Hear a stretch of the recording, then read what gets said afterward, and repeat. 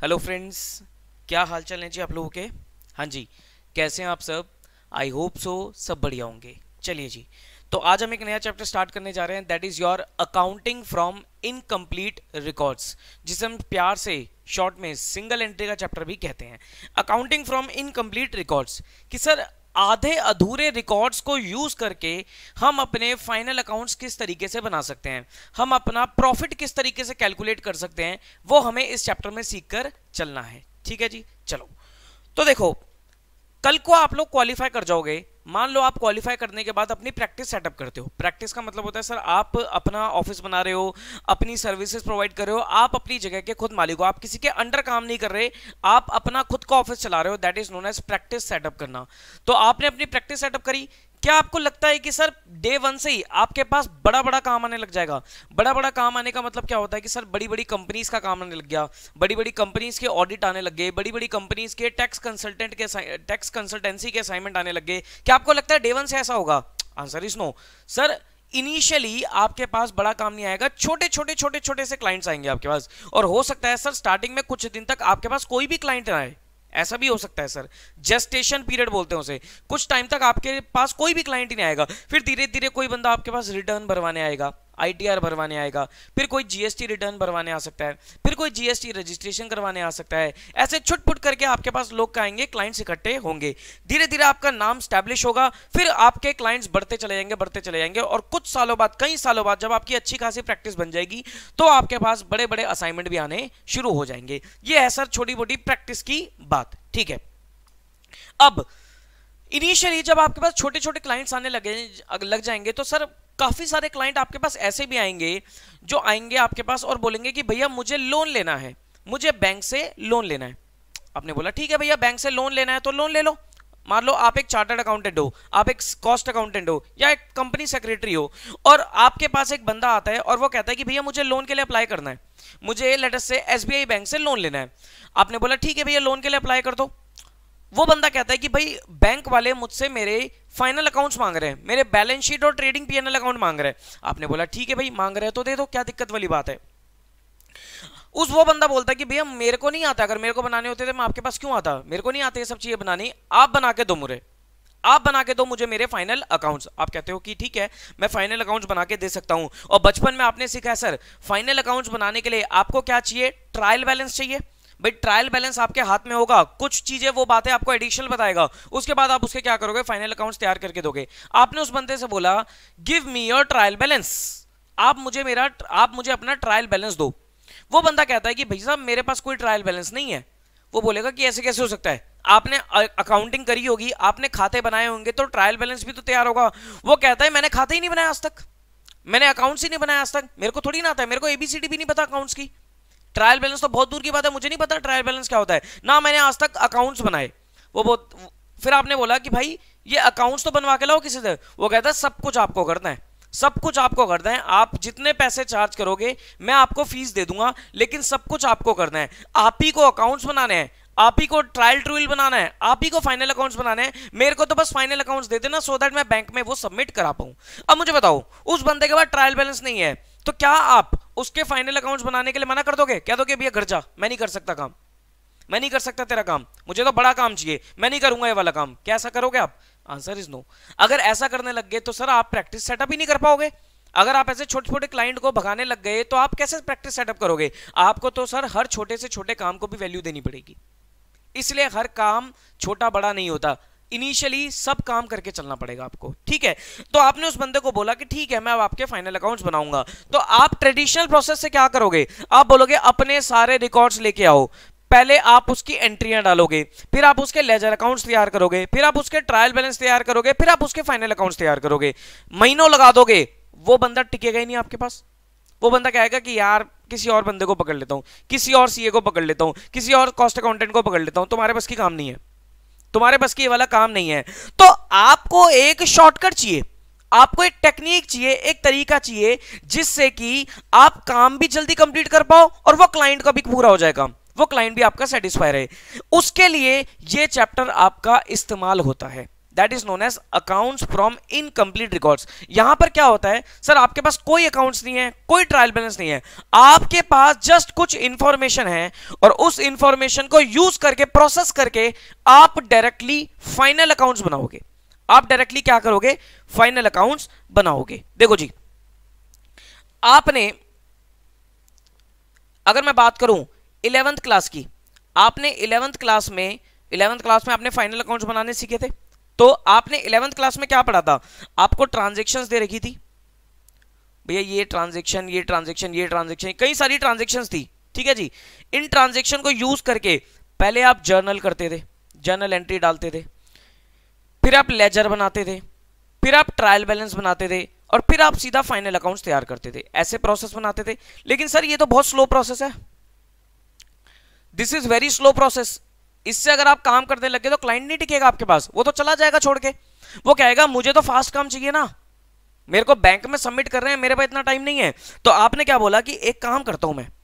मैं कुछ इन ट्रांजेक्शन को इस्तेमाल करता हूँ और इन ट्रांजेक्शन के से कुछ शॉर्टकट लगाता हूँ और डायरेक्टली स्मार्ट वर्क लगाता हूँ और डायरेक्टली क्या करूँ?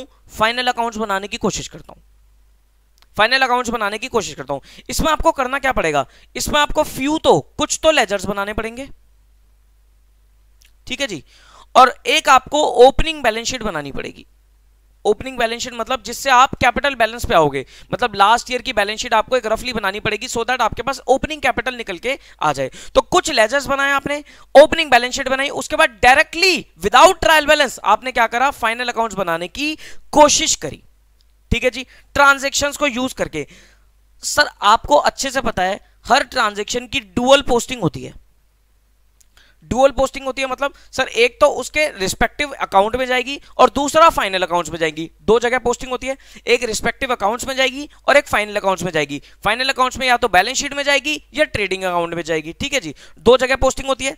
लेकिन अगर आपको कोई लेजर अकाउंट ही बनाकर दे रखा है कोई लेजर अकाउंट ही बना के दे रखा है। तो इसका मतलब एक जगह पोस्टिंग तो इस अकाउंट में हो ही रखी है, आपको सिंगल पोस्टिंग करनी है वन पोस्टिंग करनी है। कहाँ पर? इन द फाइनल अकाउंट्स ये काम आपको करके चलना है इन दिस चैप्टर तो मैंने क्या बोला, इस चैप्टर में आपको ट्रांजेक्शन्स दी रहेगी ट्रांजेक्शन्स मतलब कुछ इंफॉर्मेशन दी रहेगी, उस इंफॉर्मेशन को प्रोसेस करके यूज़ करके आपको डायरेक्टली फाइनल अकाउंट्स बनाने हैं। डायरेक्टली क्या करने हैं? फाइनल अकाउंट्स बनाकर चलने हैं। ठीक है? अभी ये अकाउंट वाली बात मैं और जाके आके डिटेल में डिस्कस करूँगा कि सर अकाउंट दे रखा है आपको तो एक ही जगह पोस्टिंग करनी है। सिंपल ये समझो कि सर बचपन में हम करते थे ट्रांजेक्शन को यूज़ करके journal ledger trial balance then final accounts लेकिन इतना टाइम अब हमारे पास नहीं है। हम सीधा ट्रांजेक्शन को प्रोसेस करके डायरेक्टली क्या बनाएँगे? फाइनल अकाउंट्स बनाएँगे। ये बीच का काम खत्म कर दिया हमने। जर्नल लेजर ट्रायल बैलेंस ये सब हमें नहीं चाहिए। लेकिन इसके लिए आपको थोड़ा स्मार्ट वर्क लगाना पड़ेगा, थोड़ा टेक्निक लगानी पड़ेगी, थोड़ा एक्सपीरियंस चाहिए होगा फाइनल अकाउंट्स पे आपको कमांड चाहिए होगी, तब ये चीज़ आपको क्लियर अंडरस्टैंडिंग इसकी मिलेगी क्लियरली ये चीज़ समझ में आपको आएगी। ठीक है जी?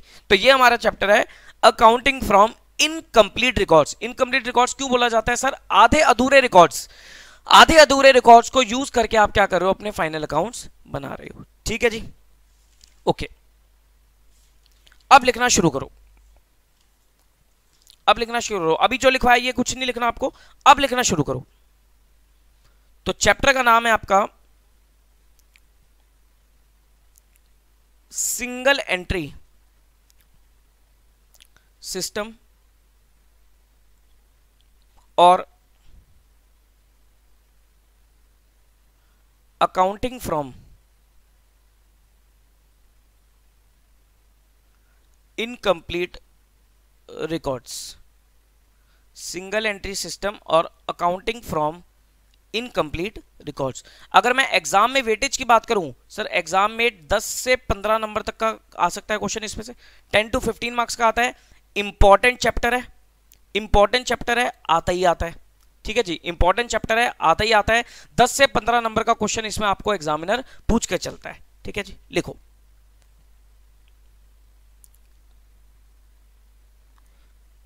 in this topic.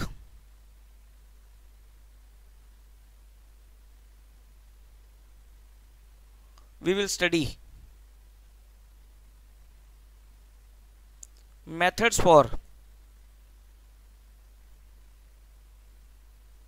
preparing final accounts from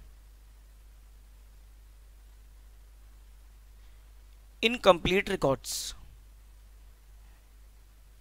Final accounts क्या होते हैं सर फाइनल अकाउंट्स बताइए। फाइनल अकाउंट्स में क्या क्या आता है? फाइनल अकाउंट्स में हमारे पास बैलेंस शीट आती है।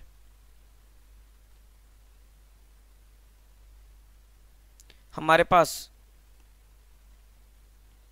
ट्रेडिंग एंड पीएनएल अकाउंट आता है।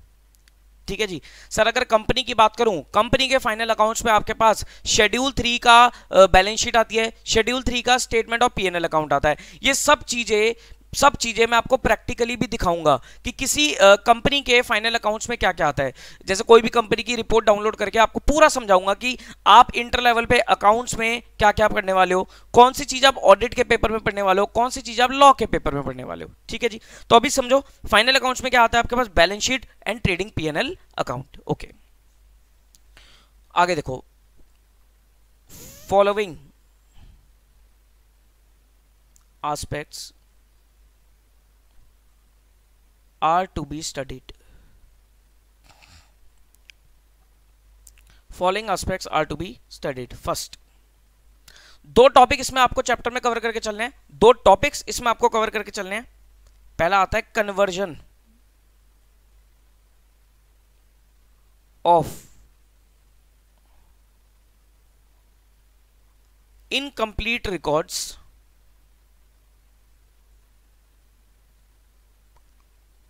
to final accounts हाँ जी. Conversion of incomplete records to final accounts कि सर इनकम्प्लीट रिकॉर्ड्स को किस तरीके से आप फाइनल अकाउंट्स में कन्वर्ट करके चल सकते हैं? ओके सेकंड जो आप टॉपिक पढ़ेंगे सेकंड पढ़ेंगे प्रॉफिट निकालना. Calculation of profit and loss from incomplete records ये वाला काम करते हैं सर जनरली टैक्स डिपार्टमेंट जैसे कि income tax department income tax department ने रेट डाली. रेट डलती है ना सर? सुना होगा आपने मूवीज़ वगैरह में देखा होगा रेट डाली. इनकम टैक्स डिपार्टमेंट ने किसी शॉप पे, किसी शोरूम पे, किसी फैक्ट्री पे, किसी बिज़नेस हाउस पे रेट डाली. रेट डाल के क्या करता है इनकम टैक्स डिपार्टमेंट कुछ रिकॉर्ड्स को इकट्ठा करता है. कुछ डॉक्यूमेंट्स को, कुछ रिकॉर्ड्स को इकट्ठा करता है और उस रिकॉर्ड्स के बेसिस पर income tax department directly profit निकालता है। डायरेक्टली इनकम कैलकुलेट करने की कोशिश करता है। और फिर चेक करता है कि जो बंदे पे हमने रेट डाली है, उसकी एक्चुअली में इनकम कितनी बनती है और जो उसने आईटीआर में इनकम डिस्क्लोज करी है, वो कितनी बनती है। जो भी डिफरेंस आएगा, उसके ऊपर एडिशनल टैक्स इंटरेस्ट पेनल्टी वगैरह लगाया जाएगा। तो जो सेकंड वाला पार्ट है, वो जनरली आपका टैक्स डिपार्टमेंट टैक्स रिकवरी के लिए यूज़ करके चलता है। पहला काम सर जो भी हमारा प्रोफेशनल बंदा है सी एस सी वो यूज़ करता है फॉर सर्विंग देयर क्लाइंट्स आपके एग्ज़ाम की अगर मैं बात करूँ तो सर, आपके एग्ज़ाम में जो पहले वाले पार्ट पे क्वेश्चन आता है, वो आता है सर लगभग पंद्रह नंबर का। और जो दूसरे वाले पार्ट पे क्वेश्चन आता है, वो लगभग आता है आठ से दस नंबर का। इसको मैं कह सकता हूँ, पंद्रह नंबर का, बारह से पंद्रह नंबर के बीच में कह सकते हो, और ये कह सकते हो आठ से दस नंबर का। और सर, दोनों में से कुछ भी आ सकता है। ऐसा नहीं है कि सर पंद्रह नंबर वाला इंपॉर्टेंट है। नहीं सर, आठ से दस वाला जो सेकंड पार्ट है, वो भी इंपॉर्टेंट है, पंद्रह वाला भी इंपॉर्टेंट है। चैप्टर तो बहुत छोटा सा है। दो ही इसमें पार्ट है। क्वेश्चंस की प्रैक्टिस है क्वेश्चन की वैरायटी है बहुत सारी। टॉपिक कंसेप्ट तो सिर्फ़ दो ही हैं, पहला कंसेप्ट और दूसरा कंसेप्ट उसके बाद आपको क्वेश्चंस करने क्वेश्चन की वैरायटी है। अगर मैं पहले कॉन्सेप्ट की बात करूँ तो सर, पहले कॉन्सेप्ट के लिए क्वेश्चंस मेरे पास ज़्यादा हैं। दूसरे कॉन्सेप्ट में ज़्यादा क्वेश्चन बनते नहीं है तो दो तीन क्वेश्चन दूसरे कॉन्सेप्ट के भी हैं। लेकिन दोनों ही कंसेप्ट आपके इंपॉर्टेंट है क्वेश्चन आता ही आता है being it a first part और being it a second part तो अच्छे से प्रॉपरली चैप्टर को करके आपको जाना है, ठीक है? तो एक एक करके मैं पार्ट डिस्कस करूँगा। सबसे पहले आइए जी फ़र्स्ट पार्ट के ऊपर। तो लिखो जी फ़र्स्ट पार्ट फ़र्स्ट पार्ट देखते हैं कि सर इनकम्प्लीट रिकॉर्ड से फाइनल अकाउंट्स किस तरीके से हम बनाएँगे। लिखो। Conversion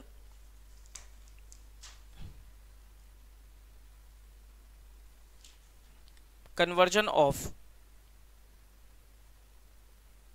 incomplete records to final accounts हाँ जी. Conversion of incomplete records to final accounts incomplete records को यूज़ करके आप फाइनल अकाउंट्स किस तरीके से बनाकर चलोगे? लिखो जी.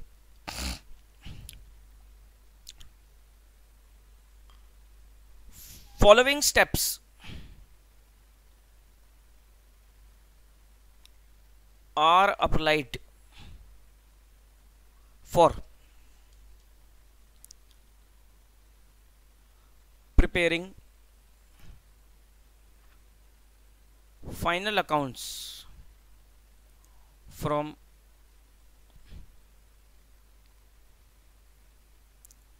incomplete records हाँ जी। कुछ स्टेप्स लगाने हैं आपको। सबसे पहले step number one prepare.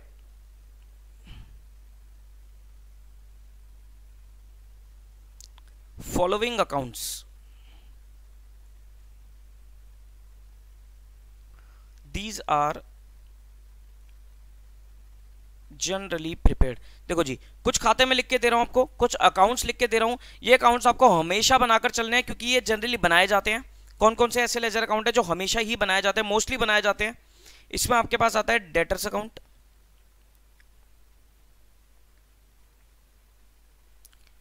bills receivable account B R account जिसे आप कह सकते हो, bills receivable account, creditors account हाँ जी, debtors account B R account, creditors account और bills payable account, BP account,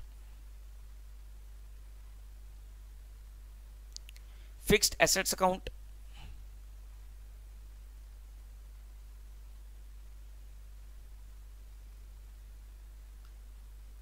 cash and bank account. Cash and bank account के bracket में लिख देना कंबाइंड और separate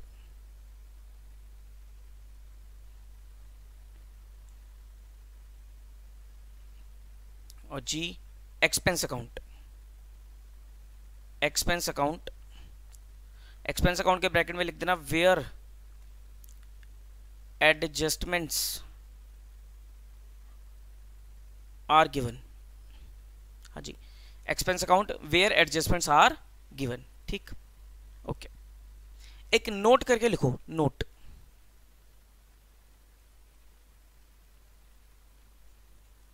note if question is sorry if question has separate details of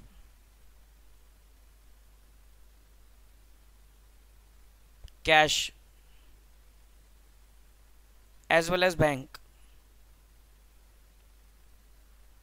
Then prepare then prepare separately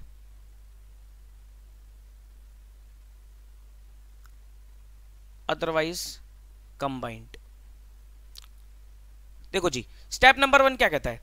step number one कहता है कि आपको कुछ लेजर अकाउंट्स बनाकर चल रहे हैं, जो जनरली बनेंगे बनेंगे। डेटर्स अकाउंट बीआर अकाउंट ये डेटर बीआर आपस में लिंक्ड होता है। आपको सबको पता है सर डेटर बीआर आपस में लिंक्ड अकाउंट है। तो डेटर्स अकाउंट बीआर अकाउंट बनेंगे ही बनेंगे।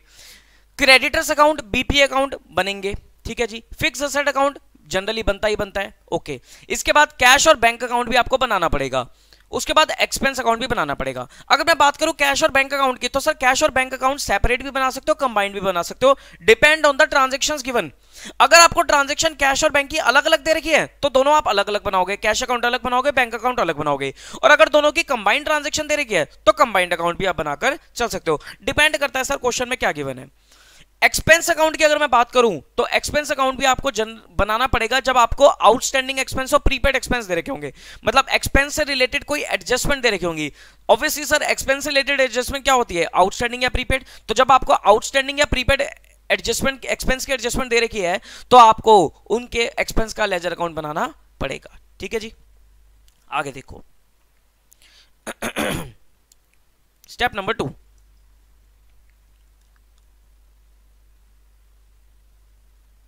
step 2 all items of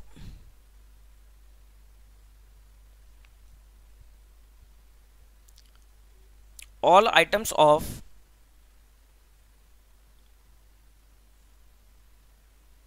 information given in question should be posted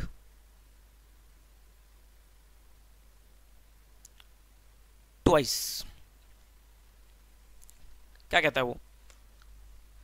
वो कहता है कि अगर आपको कोई भी इंफॉर्मेशन दे रखी है, कोई भी इंफॉर्मेशन दे रखी है क्वेश्चन में तो आपको उसको दो जगह पोस्ट करना है। मैंने बताया सर कोई भी आइटम आपको दो जगह पेस्ट करनी पोस्ट करनी होती है कहाँ कहाँ पर? एक तो उसके रिस्पेक्टिव अकाउंट में और एक फाइनल अकाउंट्स में। तो दो जगह तो पोस्टिंग होती है डुअल पोस्टिंग होकर चलती है। तो कोई भी इंफॉर्मेशन अगर आपको क्वेश्चन में दे रखी है तो उसको आपको दो जगह पर पोस्ट करके चलना है। ठीक है जी? पहली चीज़ ये ध्यान रखना। दूसरी चीज़, अगर आपको क्वेश्चन में कोई अकाउंट दे रखा है given account in a question are posted once मतलब कि सर, अगर आपको कोई अकाउंट दे रखा है क्वेश्चन में अगर आपको कोई भी अकाउंट दे रखा है क्वेश्चन में तो उस अकाउंट से जो आप इंफॉर्मेशन निकालोगे, उसको तो एक ही जगह पोस्ट करोगे। क्यों? क्योंकि सर एक बार तो वो उस अकाउंट में पोस्ट हो चुकी है। मान लो आपको क्वेश्चन में कैश अकाउंट दे दिया। तो कैश अकाउंट से जो भी इंफॉर्मेशन आप निकालोगे, उसको एक ही जगह तो लेके जाओगे, क्योंकि एक बार तो कैश अकाउंट में पोस्ट हो गई है। भाई, कोई भी एंट्री माइंड में डालते हो तो दो जगह पोस्टिंग होती है। डेबिट साइड पे, क्रेडिट साइड पे। ठीक है जी? मान लो एक जगह पर आपको पोस्टिंग क्वेश्चन में ही करके दे दी मतलब कैश अकाउंट दे रखा है टी फॉर्म में कैश अकाउंट दे रखा है। तो कैश अकाउंट में जो जो भी आइटम दे रखी है, उसको एक ही जगह तो पोस्ट करोगे। क्यों? क्योंकि सर, एक बार तो उस कैश अकाउंट में ऑलरेडी पोस्टिंग हो रखी है। तो यह चीज़ आपको ध्यान रखनी है। जो मैं आपको भी पहले भी बता रहा था, वो यही चीज़ थी कि अगर आपको कोई भी अकाउंट दे रखा है क्वेश्चन में तो अकाउंट से जो आप इंफॉर्मेशन निकालोगे, उसकी एक ही पोस्टिंग होगी। क्यों? क्योंकि सर एक जगह पर उसी अकाउंट में पोस्टिंग हो रखी है ऑलरेडी और अगर कोई भी इंफॉर्मेशन दे रखी है अकाउंट नहीं दे रखा, सिर्फ़ इंफॉर्मेशन दे रखी है तो उसको आप दो अकाउंट्स में, दो जगह पर पोस्टिंग करके उसकी चलोगे। ठीक है जी? क्लियर होती है बात? ओके आगे। नोट करके लिख लो note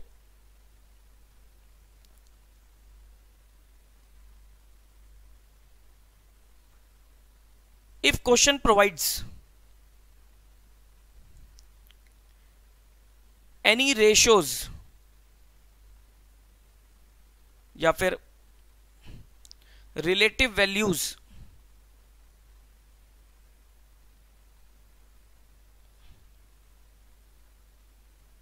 we should calculate.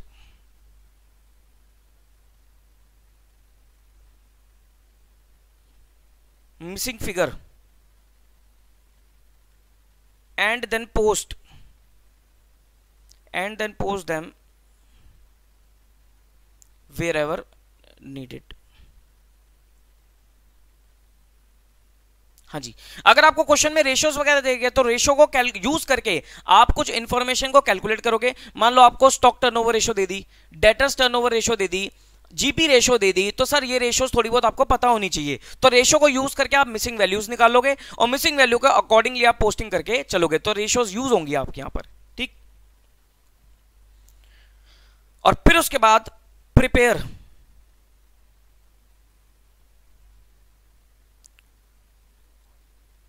trading PNL account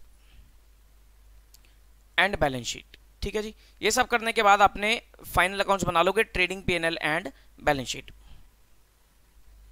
okay आगे देखो।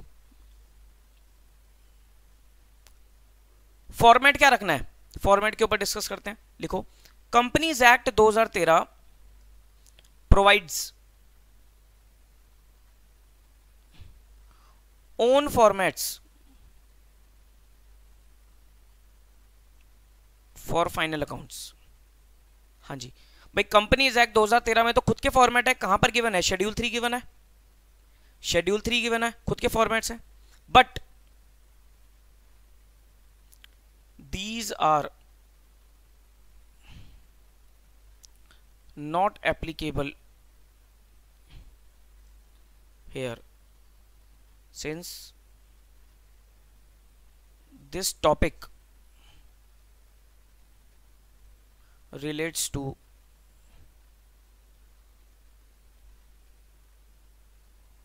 small business only not companies क्या कहता है ये पॉइंट देखो जी सब बात ही आती है ट्रेडिंग पीएनएल बैलेंस शीट बनाते समय फॉर्मेट कौन सा फॉलो किया जाए? देखो, अगर मैं बात करूँ कंपनीज़ एक्ट 2013 की तो सर कंपनीज़ एक्ट 2013 में तो फाइनल अकाउंट्स बनाने के खुद के फॉर्मेट्स हैं शेड्यूल थ्री में गिवन है। लेकिन वो फॉर्मेट्स आपके यहाँ पर एप्लीकेबल नहीं होंगे। क्यों? क्योंकि सर ये जो चैप्टर हम कर रहे हैं इनकम्प्लीट रिकॉर्ड्स ये जनरली छोटे छोटे बिजनेसेस पे लगता है। ये बड़ी बड़ी कंपनीज़ पे नहीं लगता, ये किसी कंपनी पे नहीं लगता। ये जनरली छोटे बिजनेसेस पे लगता है जो नॉन कंपनीज़ है। सर, अगर आप कंपनीज़ एक्ट पढ़ोगे कंपनीज़ एक्ट पढ़ोगे तो सेक्शन 128 और 129 उठाकर देखना। तो 128 129 में साफ़ साफ़ लिखा गया है कि कंपनी जो अपनी अकाउंटिंग करेगी, वो सिर्फ़ और सिर्फ़ डबल एंट्री सिस्टम पर कर सकती है। सिंगल एंट्री सिस्टम फॉलो नहीं करा जा सकता। This is single entry system क्यों? क्योंकि डायरेक्टली फाइनल अकाउंट्स बना रहे हो। हम बीच में जर्नल लेजर ट्रायल बैलेंस को फॉलो कर ही नहीं रहे। किसी अकाउंटिंग प्रोसेस को फॉलो कर ही नहीं रहे। That is single entry system follow हो रहा है। अगर मैं पूरा सिस्टम फॉलो करूँ that is known as double entry system तो डबल एंट्री सिस्टम कंपनी के लिए तो मैंडेटरी है. लेकिन अदर देन कंपनी के लिए कोई कंपल्शन नहीं है. इसलिए ये सिंगल एंट्री का चैप्टर इनकम्प्लीट रिकॉर्ड्स का चैप्टर कंपनीज़ के लिए तो बना ही नहीं है. नॉन कंपनीज़ के ऊपर अप्लाई होता है. इसलिए नॉन कंपनीज़ के लिए आप कोई भी अपने फॉर्मेट जो आपने सीखे हुए हैं, वही फॉर्मेट को आप फॉलो करके चलोगे फॉर फाइनल अकाउंट्स ठीक है जी? फॉर्मेट तो मेरे हिसाब से बताने की ज़रूरत नहीं है। वही ट्रेडिंग अकाउंट वही पीएनएल अकाउंट वही बैलेंस शीट डायरेक्टली क्वेश्चन में देख लेंगे। वो फॉर्मेट तो आपको अच्छे से पता ही है। ओके आगे लिखो। एक और note note opening balance sheet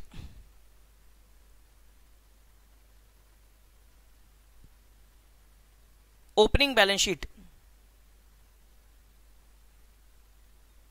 will be prepared.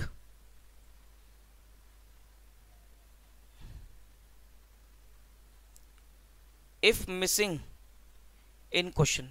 ठीक है जी? सर अगर आपको क्वेश्चन में ओपनिंग बैलेंस शीट नहीं दे रखी तो आपको ओपनिंग बैलेंस शीट निकालनी पड़ेगी। क्यों? क्योंकि आपको कैपिटल का ओपनिंग बैलेंस चाहिए। कैपिटल के ओपनिंग बैलेंस में आप करंट ईयर का प्रॉफिट वगैरह ऐड करके चलोगे ड्राइंग्स वगैरह एडजस्ट करके चलोगे एडिशनल कैपिटल एडजस्ट करके चलोगे तो वो तो आपको चाहिए ही ठीक? नोट एक और नोट लिखो।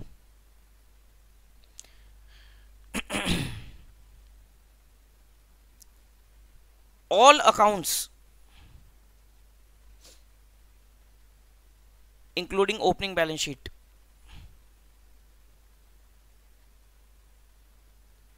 will be closed based on best assumption ठीक है जी? अब थोड़ा सा आपको यहाँ पर दिमाग लगाना पड़ेगा। क्या दिमाग लगाना पड़ेगा? जितने भी लेजर अकाउंट आप अब आप पता क्या सिचुएशन आपके सामने आएगी? आपने लेजर अकाउंट्स पे इंफॉर्मेशन डाल दी ओपनिंग बैलेंस शीट बना ली, अब उनको क्लोज करना है।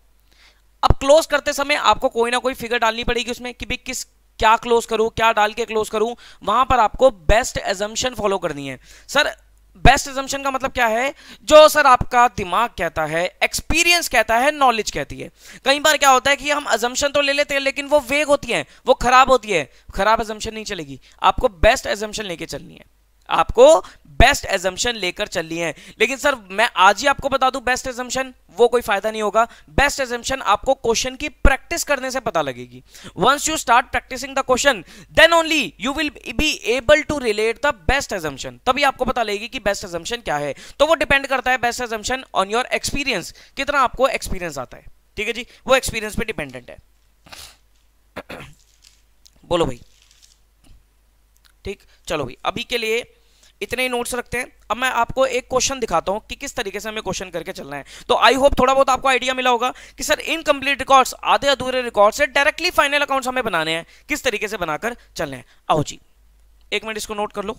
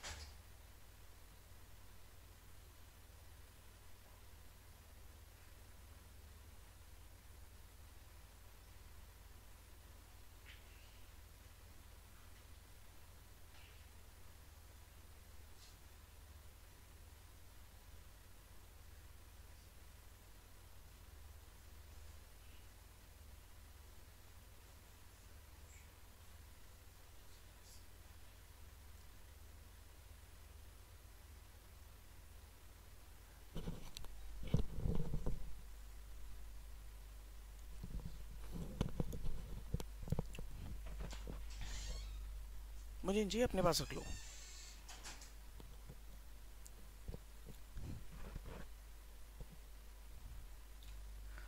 हाँ जी, चलो। क्वेश्चन लिखो एग्जांपल लिखो। एग्जांपल लिखो।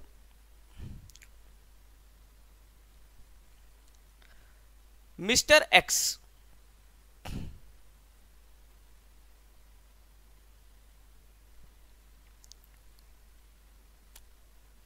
does not maintain Mr. X does not maintain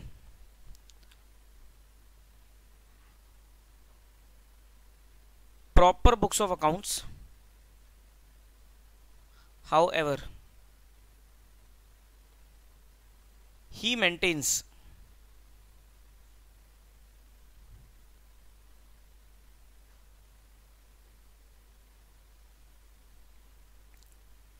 a record of his bank transactions भाई कच्चा रिकॉर्ड रखता है वो अपने पास बैंक ट्रांजेक्शन का and also able to give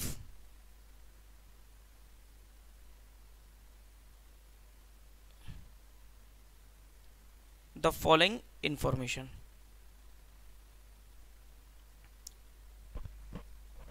From which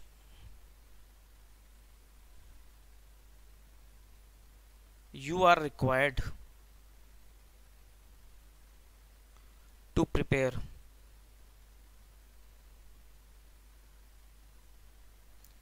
his final accounts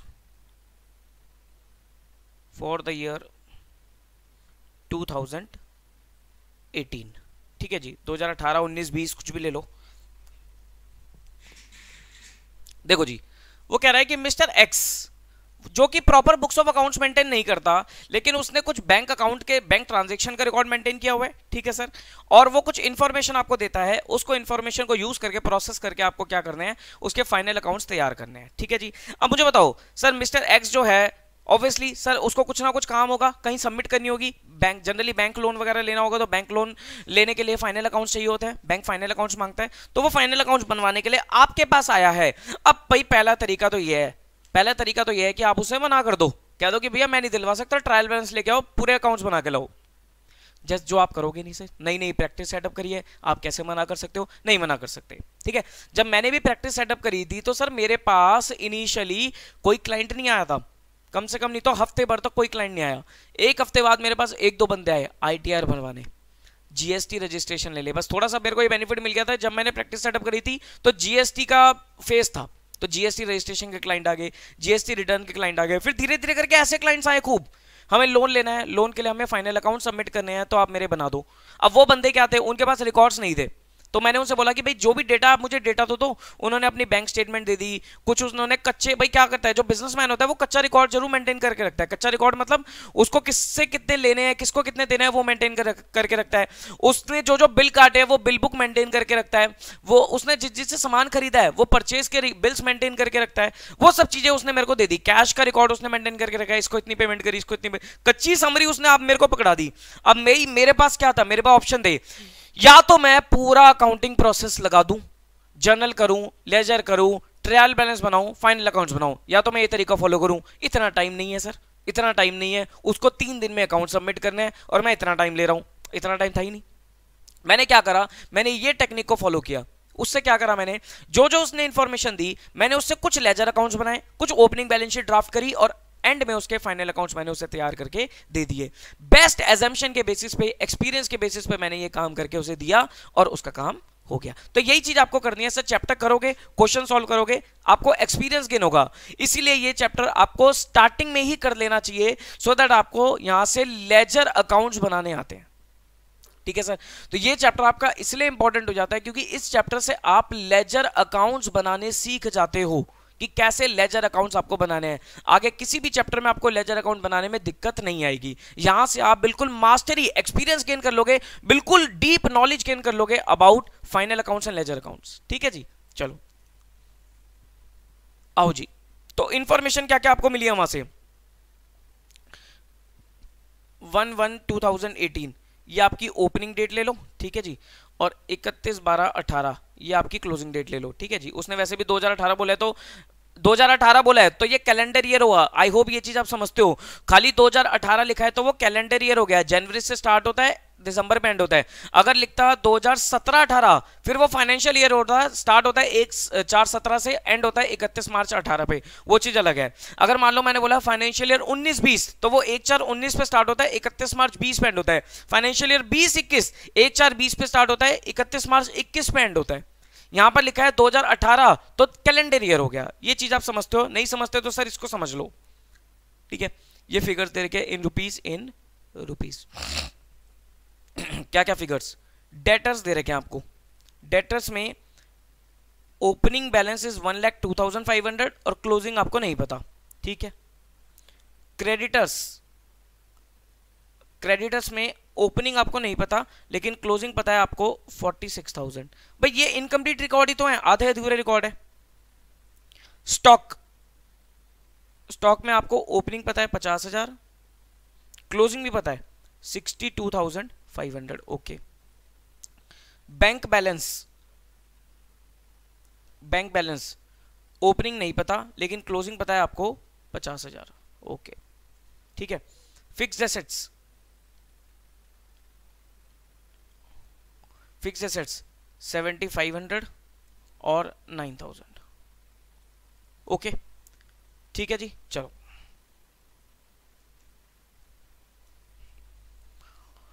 Details of his bank transactions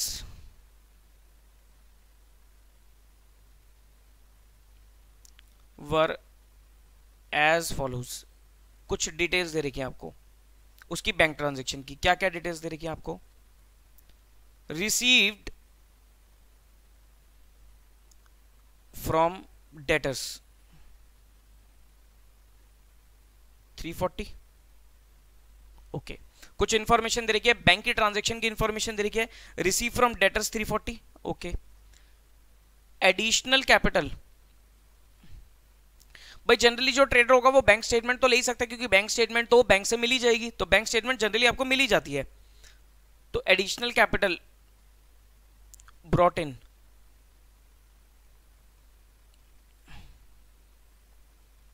five thousand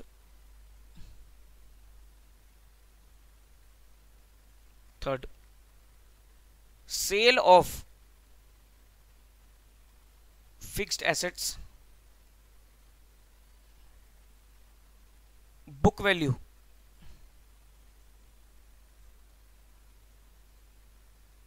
पच्चीस सौ for one seven five zero ठीक है sir?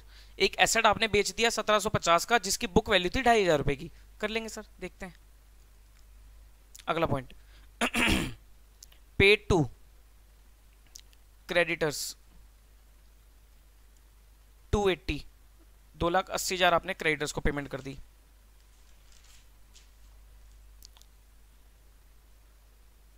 Expense paid. Four nine two five zero ठीक? Personal drawings personal drawings पच्चीस हज़ार. Purchase of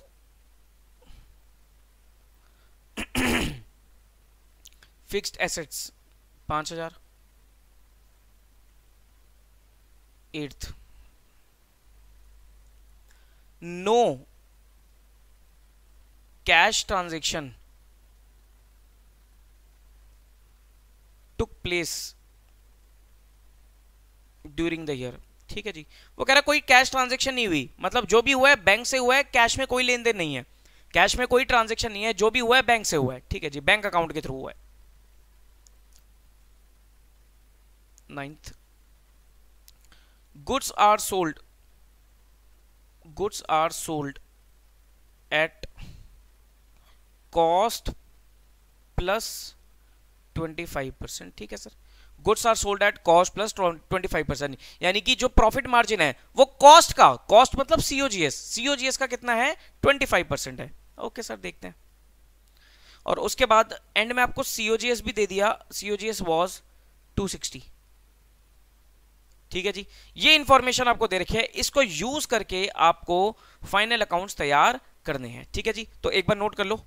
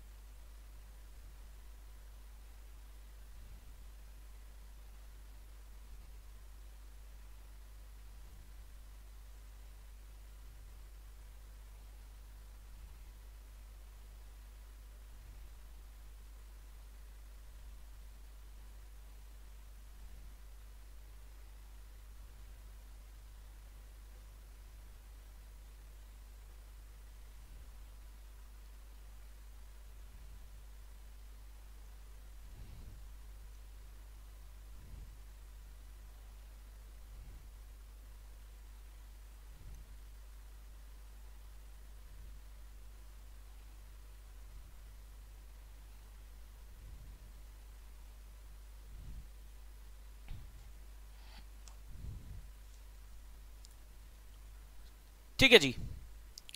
I hope note कर लिया आपने। देखो जी, अब ये क्वेश्चन का डेटा यूज़ करेंगे और हम फाइनल अकाउंट्स बनाएँगे डायरेक्टली किस तरीके सॉल्व करना है?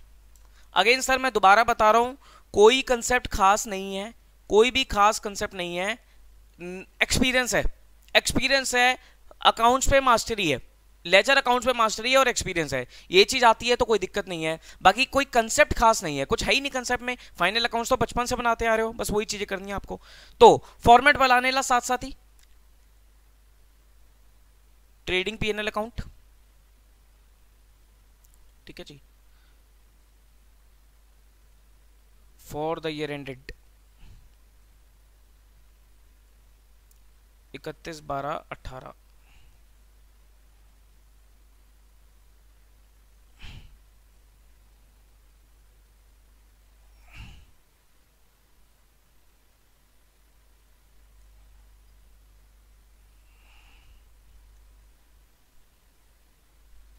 बैलेंस शीट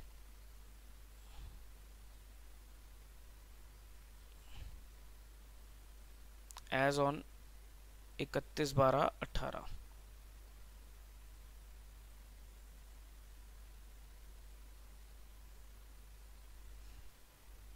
ठीक है जी?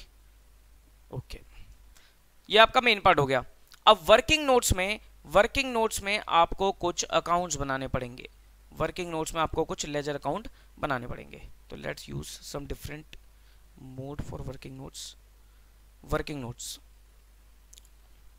देखो जी वर्किंग नोट जैसे जैसे क्वेश्चन आएगा, वैसे वैसे बना लेना। बस ओपनिंग बैलेंस शीट ज़रूर बना लेना, क्योंकि ओपनिंग बैलेंस शीट तो आपको चाहिए ही चाहिए। तो देखो जी ओपनिंग बैलेंस शीट आपने बना ली। बाकी जैसे जैसे क्वेश्चन कहेगा, वैसे वैसे आप बना लेना। तो एक काम करता हूँ, मैं एक साइड पे दो दो बना लेता हूँ सो so दैट मेरा जल्दी जल्दी चीज़ें कंप्लीट हो जाएँगी। ओपनिंग बैलेंस शीट ठीक है? ओके अब देखते हैं क्या क्या है मेरे पास। अब क्वेश्चन आप रख लेना। चलो ऊपर से दिखा देता हूँ। देखो जी, क्या क्या दे रखा है आपको?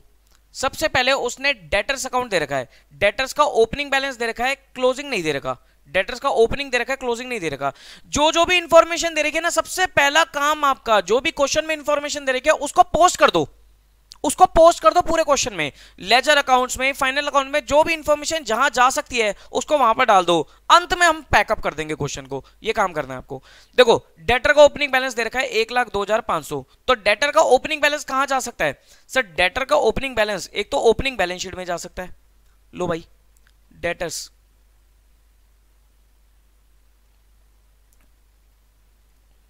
one zero two five hundred और साथ में अगर मैं डेटर्स अकाउंट भी बना लूँ तो सही रहेगा। डेटर्स अकाउंट तो ओपनिंग बैलेंस में बैलेंस बीडी लिख सकता हूँ। To balance BD one zero two five double zero. ठीक है जी? लिख दिया मैंने। आगे देखो। अब क्वेश्चन रख लेना, मैं अपने पास से पढ़ रहा हूँ। क्रेडिटर्स का आपको क्लोजिंग बैलेंस दे रखा है। क्रेडिटर्स का आपको क्लोजिंग बैलेंस दे रखा है। तो क्रेडिटर्स का क्लोजिंग बैलेंस कहाँ कहाँ जा सकता है? सर एक तो क्रेडिटर्स अकाउंट बना लो। क्रेडिटर्स अकाउंट ये लो क्रेडिटर्स अकाउंट तो क्रेडिटर्स का क्लोजिंग बैलेंस एक तो क्रेडिटर्स अकाउंट में जा सकता है। बाय बैलेंस सीडी के नाम से। कितना? 46,000 और क्रेडिटर्स का closing balance closing balance sheet में जा सकता है। ये लो क्लोजिंग बैलेंस शीट 46,000 ठीक है सर? जो जो भी इंफॉर्मेशन है, देख लो, मैं क्या कर रहा हूँ? दो जगह पर पोस्टिंग कर रहा हूँ ना, क्योंकि सारी इंफॉर्मेशन है। बता, लिखवाया था मैंने चीज़ कि इंफॉर्मेशन को दो जगह पोस्ट करोगे और अगर क्वेश्चन में कोई लेजर अकाउंट दे देता, तब वहाँ से इंफॉर्मेशन निकाल के एक ही जगह पोस्ट होती। क्यों? क्योंकि एक जगह तो वो अकाउंट में ऑलरेडी पोस्टेड है। ओके यहाँ पर आपको इंफॉर्मेशन दे रखी है। क्रेडिटर्स के बाद आपको दे रखा है ओपनिंग स्टॉक और क्लोजिंग स्टॉक ठीक है जी। ओपनिंग स्टॉक अगर मैं बात करूँ तो सर ओपनिंग स्टॉक सबसे पहले तो ट्रेडिंग अकाउंट में चला जाता है। टू, ओपनिंग स्टॉक, कितना? Fifty thousand. और ओपनिंग स्टॉक आपका ओपनिंग बैलेंस शीट में भी चला जाएगा। ओपनिंग बैलेंस शीट में डाल देता हूँ, स्टॉक पचास हज़ार। Closing stock sixty two five hundred. Closing stock को आप क्लोजिंग बैलेंस शीट में दिखा दो।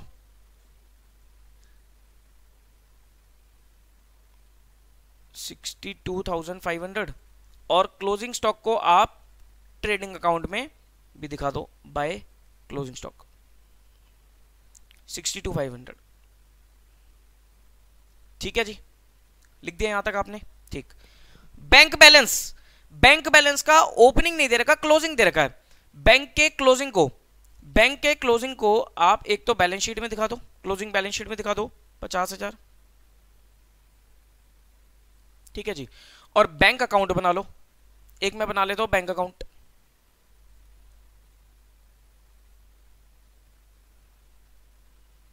bank account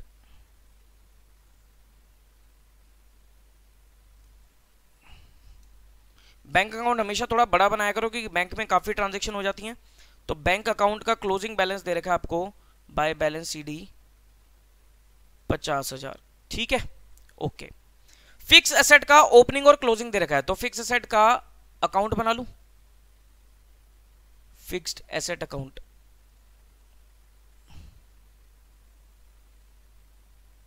Opening balance, to balance B D, seventy five hundred, by balance C D, nine thousand. ठीक है जी? आओ। फिक्स असेट के ओपनिंग क्लोजिंग को कहाँ लेके जा सकते हो? फिक्स असेट का opening balance opening balance sheet में आ जाएगा। Fix asset. 7500 और फिक्स असेट का क्लोजिंग बैलेंस 9000 वो क्लोजिंग बैलेंस शीट में आ जाएगा। Fix asset. नहीं तो देखो, अगेन मैं बता रहा हूँ, सर, चैप्टर कुछ भी नहीं है। मैक्सिमम टाइम तो आपका क्वेश्चन से डेटा उठाना है और उसको पोस्ट करना है, उसी में लग जाएगा। फिर उसके बाद आपका पैकअप करना है। पैकअप करने में कम टाइम लगेगा, क्वेश्चन का डेटा पोस्ट करने में ज़्यादा टाइम लगेगा। तो आधे से ज़्यादा क्वेश्चन तो क्वेश्चन में क्वेश्चन के साथ ही क्वेश्चन खत्म, आंसर खत्म हो जाता है। क्वेश्चन में इंफॉर्मेशन दे रही उसको सही जगह पोस्ट कर दो। आधे से ज़्यादा काम तो वही खत्म हो गया आपका। आधे से ज़्यादा काम तो वही खत्म हो गया। फिर आप क्वेश्चन को जब वाइंड अप करोगे, आधा काम उसमें बचता है आपका।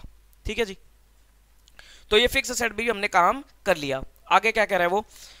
डिटेल्स ऑफ़ इस बैंक ट्रांजेक्शन पर एज फॉलोज बैंक ट्रांजेक्शन की डिटेल दे रखी है। पहले दे रखा रिसीव फ्रॉम डेटर्स डेटर से रिसीव हुए पैसे। बताओ भाई डेटर से रिसीव हुए, यानी कि एंट्री क्या डली होगी? Bank account debit to debtors bank account debit to debtors तो डेटर्स में क्या लिख सकता हूँ मैं? बाय बैंक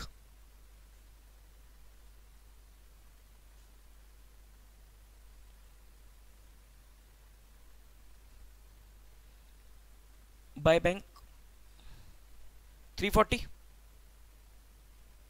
और बैंक में क्या लिख सकता हूँ मैं? टू डेटर्स 340 ठीक है? आगे देखो। Additional capital brought in capital लगाई गई बिज़नेस में.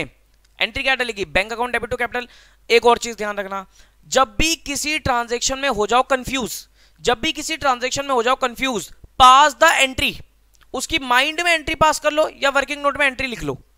आसान हो जाएगा उस चीज़ से। माइंड में एंट्री डाल लो या वर्किंग नोट में एंट्री लिख लो। एंट्री के थ्रू काम करोगे तो आपकी कभी गलती नहीं होगी। रटोगे तो काम खराब हो जाएगा। इसलिए रटो मत। रट्टू तोते नहीं बनना हमें। हमें एंट्री समझ में आनी चाहिए। माइंड में एंट्री डालो, नहीं तो पेपर में एंट्री डालो। एंट्री से पोस्ट करो। आसान हो जाएगी चीज़, ठीक?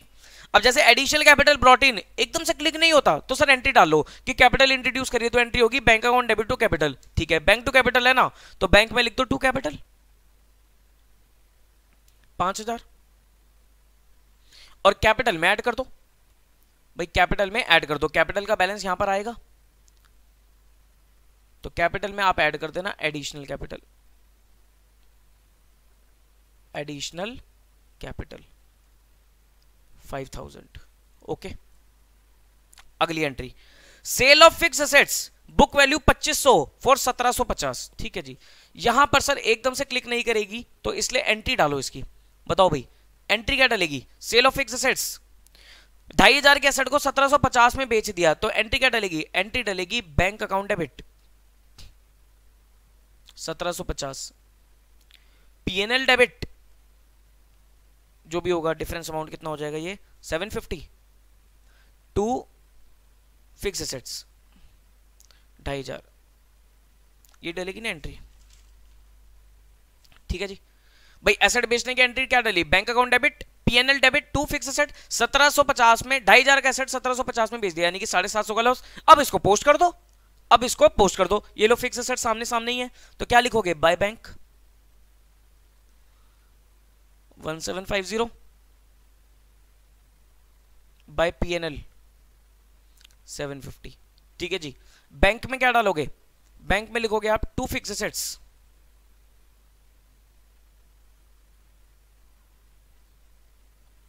to fix assets 2500 ओ 1750 और पीएनएल अकाउंट में डालोगे आप लॉस पीएनएल में लॉस डाल दो. To loss on sale of fixed assets 750 ठीक है जी? क्लियर है यहाँ तक की बात? Okay okay. अगली एंट्री आपके पास पेड टू क्रेडिटर्स 280 क्रेडिटर्स को पेमेंट करिए दो सी की। क्रेडिटर्स को दो लाख अस्सी हज़ार की पेमेंट करी। तो एंट्री क्या डल की क्रेडिटर्स को पे करा। तो यानी कि creditors to bank creditors to bank डालो। क्रेडिटर्स टू बैंक ये रहा क्रेडिटर्स और ये रहा बैंक क्या लिखोगे? क्रेडिटर्स टू बैंक यानी कि टू बैंक कितना टू बैंक 280 और बैंक में क्या लिखोगे? बाय क्रेडिटर्स 280 ओके समझ में आया यहाँ तक? ठीक. Expenses paid expenses paid four nine two five zero sir expenses paid तो expense to bank expense to bank तो by expense four nine two five zero अब मुझे बताओ, क्या यहाँ पर आपको एक्सपेंस अकाउंट बनाना चाहिए? खाली एक्सपेंस दे रखा है, क्या आपको एक्सपेंस अकाउंट बनाना चाहिए? सर एक्सपेंस में कोई आउटस्टैंडिंग प्रीपेड तो दे ही नहीं रखा तो मैं एक्सपेंस अकाउंट बनाऊँगा ही नहीं। इसका मतलब पूरा का पूरा खर्चा मैं क्या करूँगा? पीएनएल में डेबिट कर दूँगा कि यही मेरा खर्चा है।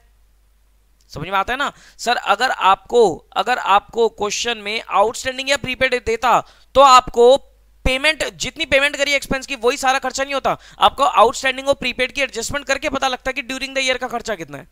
ठीक? तो टू एक्सपेंस कितना आ जाएगा आपका? Four nine two five zero okay यहाँ तक आगे देखो। पर्सनल ड्राइंग्स पच्चीस हज़ार। ड्राइंग्स करिए सर तो entry डलेगी drawings to bank drawings to bank तो by drawings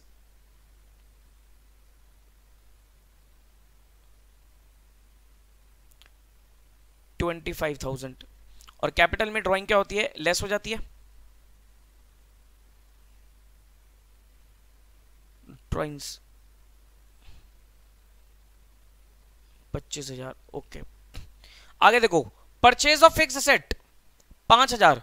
purchase of fix asset पाँच हज़ार। एसेट खरीदा। एसेट खरीदा तो एंट्री क्या डलेगी? एफ़ ए टू बैंक तो टू बैंक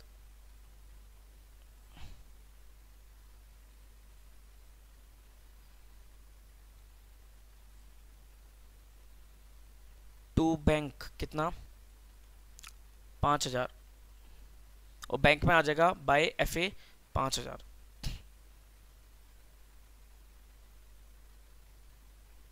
ठीक है भाई साहब? ठीक है जी। तो एंट्रियाँ डाल रहा हूँ। अभी तक मैंने क्वेश्चन भी पोस्ट नहीं करा। तो देख लो क्वेश्चन की पोस्टिंग चल रही है। वो कह रहे हैं no cash transaction took place during the year कोई दिक्कत नहीं है। फिर वो कहता है goods are sold at cost plus 25 percent goods को आप कॉस्ट प्लस 25 परसेंट में बेचते हो और सीओ जीएस टू 260 ओके जी। ठीक है जी। वो कहता है goods are sold at cost plus 25 percent. यानी कि सीओजीएस का, या ऐसे लिख दो आप। COGS plus 25 percent of COGS is equal to sales ऐसे लिख दू मैं? क्या मैं ऐसे लिख सकता हूँ? कोई दिक्कत नहीं है सर लिखो यही चीज़ तो बोला है उसने कि goods are sold at cost plus 25 percent यानी कि COGS plus 25 percent of COGS is equal to sales COGS दे रखे आपको 260 तो 260 का 25 परसेंट बताना जी कैलकुलेट करके 260 का 25 परसेंट कितना होगा? 65,000 इज़ इक्वल टू सेल्स तो सेल्स कितनी आएगी? 325 ओके पॉइंट समझ में आता है? पॉइंट समझ में आता है कि sir cost plus 25 percent of cost is equal to sales ठीक है सर यहाँ तक हमें कोई भी दिक्कत, परेशानी नहीं है। ठीक है? नॉर्मल चीज़ आ गई। अब अब बात यह आती है कि सर ये जो सेल दे रखी है, अब क्वेश्चन अराइज होगा सर, ये सेल आपने निकाल तो दी, लेकिन मैं इस सेल को क्या बोलूँ? क्या बोलूँ इस सेल को? क्या मैं इसे कैश सेल्स बोलूँ? क्या मैं इसे क्रेडिट सेल बोलूँ? क्या मैं इसे मिक्स बोलूँ? बताओ जी। क्या मैं इसे कैश सेल्स बोलूँ? क्या मैं इसे क्रेडिट सेल बोलूँ? क्या मैं इसे मिक्स बोलूँ? देखो सर, मैंने बोला बेस्ट एजम्पन लगानी है।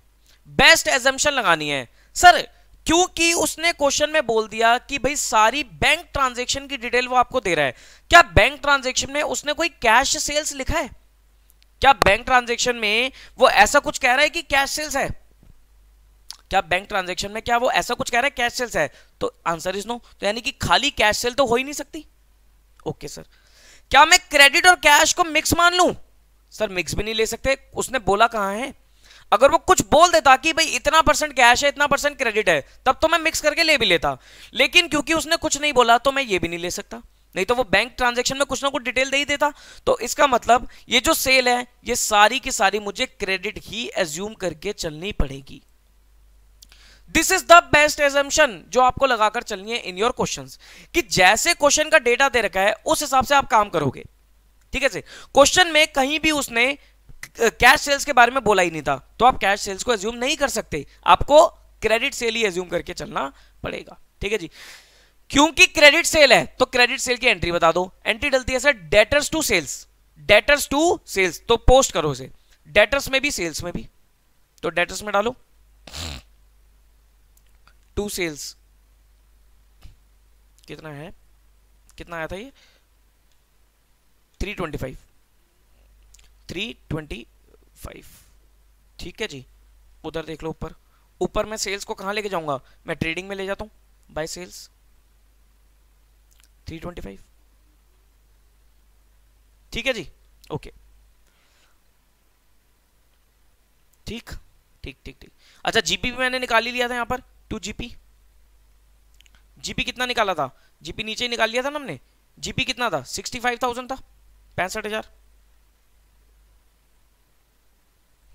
Sixty five thousand. अच्छा वैसे क्वेश्चन में बोला था, अगर आप ऐसे भी नहीं देखो सेल से भी निकाल सकते हो। क्वेश्चन में बोला था GB is 25 percent on cost अगर GB is 25 percent on cost यानी कि वन फोर्थ ऑफ़ कॉस्ट तो सेल का कितना होगा? ये आपको अच्छे से है sir one fourth of cost मतलब सेल का one by five twenty of cost का मतलब क्या हुआ? ट्वेंटी ऑन सेल तो तीन पच्चीस का ट्वेंटी निकालो, पैंसठ ही आना चाहिए। ठीक है सर सिक्सटी ही आ रहा है? ओके अब देखो टू बैलेंसिंग फिगर यहाँ से परचेज निकल जाएगी। सब चीज़ें पूरी होगी तो परचेज निकल सकती है आपकी? To purchases minus to seventy two five hundred ठीक है जी? To seventy two five hundred तो परचेज को कहाँ डाल सकता हूँ मैं? मैं परचेज को यहाँ पर डाल सकता हूँ क्रेडिटर्स अकाउंट में डाल सकता हूँ एंट्री क्या डालती है? परचेज टू क्रेडिटर्स तो मैं लिख सकता हूँ by purchases by purchases to seventy two five double zero ठीक है जी? तो ये मेरा क्वेश्चन का डेटा सारा डल गया यहाँ पर। ये मेरा क्वेश्चन का सारा डेटा डल गया। अब मुझे इनको क्लोज करना है। अब मुझे इनको क्लोज करना है। तो पहले लेजर अकाउंट को क्लोज करते हैं। देखो जी लेजर अकाउंट को क्लोज करते हैं। आओ जी, एक एक करके क्लोज करता हूँ। तो सबसे पहले, देखो ओपनिंग बैलेंस शीट हमेशा लास्ट में क्लोज करना। ओपनिंग बैलेंस शीट हमेशा लास्ट में क्लोज करना, ये ध्यान रखना। क्यों लास्ट में? क्योंकि सर कहीं ना कहीं से कोई ओपनिंग फिगर निकल के आ सकती है जो इसमें डल जाए, ठीक है जी? तो ओपनिंग बैलेंस शीट हमेशा लास्ट में क्लोज कर लेना। डेटर्स अकाउंट देखो, सारी एंट्री पूरी होगी। आपको क्वेश्चन में डेटर्स का क्लोजिंग बैलेंस नहीं दिया था तो क्लोजिंग बैलेंस निकल के आ जाएगा यहाँ पर। बाय बैलेंस सीडी बताओ कितना। भाई, सारी एंट्री पूरी होगी ना? डेटर से रिसीव भी हो गया सेल भी डाल दी ओपनिंग भी डाल दिया तो क्लोजिंग ही आएगा? अच्छा अब बात ये आती है कि सर, क्या यहाँ पर क्लोजिंग लू या यहाँ पर बेड डेट्स ले लू? अगेन बेस्ट एजम्पन देखो क्रेडिट साइड पे बैलेंसिंग फिगर आ रही है। आप बेड डेट्स भी बोल सकते हो, आप डिस्काउंट भी बोल सकते हो, आप क्लोजिंग बैलेंस भी बोल सकते हो। लेकिन सर बेड डेट्स और डिस्काउंट ये बोले, ये एजम्पन थोड़ी ना है, ये बेस्ट एजम्पन थोड़ी ना है। वो तो क्वेश्चन में बोलेगा, तभी तो लोगे। आप तो मान के चलोगे ना, भाई डेटर मेरे पास है, अभी पैसा और लेना होगा ऑब्वियसली प्लस अगेन सर इसमें थोड़ी एजम्पन्स तो लगानी पड़ेंगी चैप्टर में, लेकिन वो एजम्पन भी सोची समझी बेस्ट एजम्पन होनी चाहिए। तो डेटर्स का बैलेंस आ रहा है eighty seven thousand five hundred closing balance ठीक है जी? तो क्लोजिंग बैलेंस हाथ की हाथ कहाँ ले जाओ? क्लोजिंग बैलेंस शीट में ले जाओ। Debtors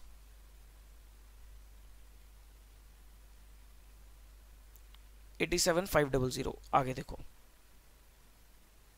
क्रेडिटर्स क्रेडिटर्स में भी देखो ओपनिंग बैलेंस मिसिंग है तो ओपनिंग बैलेंस ले जाता हूँ। कितना है? To seventy two five hundred plus minus thirty eight thousand five hundred to balance B D thirty eight five double zero तो क्रेडिटर्स का ओपनिंग बैलेंस इसको आप कहाँ ले जाओगे? इसको ओपनिंग बैलेंस शीट में ले जाओ। Thirty eight thousand five hundred ठीक है? बैंक अकाउंट भी सर अभी रुक के क्लोज करना। फिक्स एसेट अकाउंट क्लोज कर लेता हूँ। फिक्स एसेट अकाउंट में क्या रह गया हमारे पास? फिक्स एसेट अकाउंट में मेरे पास ओपनिंग भी आ गया परचेज भी आ गया सेल भी आ गया, सब कुछ आ गया। डेप्रिसिएशन नहीं आया। भैया एसेट है तो डेप्रिसिएशन तो होगा ही होगा। माइनस एक मिनट। प्लस पाँच हज़ार माइनस सत्रह सौ पचास माइनस सेवन फिफ्टी माइनस हज़ार रुपए का डेप्रिशन आ रहा है। हज़ार रुपए का डेप्रिसिएशन आ गया।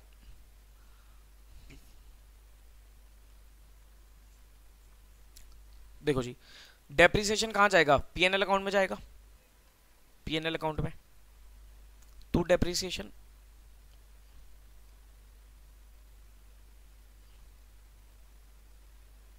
वन थाउज़ेंड ठीक। इसके बाद इसके बाद इसके बाद। फिक्स एसेट भी क्लोज हो गया। बैंक अकाउंट पे आ जाओ। बैंक अकाउंट में आपको ओपनिंग मिसिंग था। तो ओपनिंग लियो। To balance BD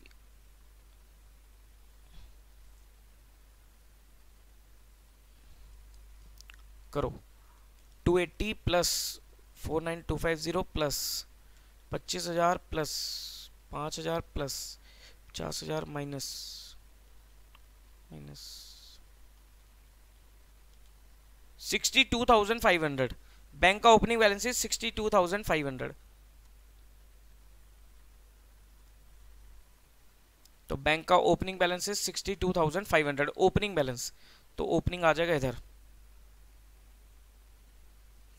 Sixty two thousand five hundred. ठीक है जी तो सारे लेजर अकाउंट मेरे क्लोज हो गए। ठीक है लेजर क्लोज हो गए। अब ओपनिंग बैलेंस शीट को क्लोज करके ओपनिंग कैपिटल निकाल के दो। तो प्लस लाख दो हज़ार पाँच सौ प्लस पचास हज़ार plus sixty two five hundred minus one eighty four की आ रही है हमारी ओपनिंग कैपिटल। चेक करें। One eighty four, one eighty four, one eighty four.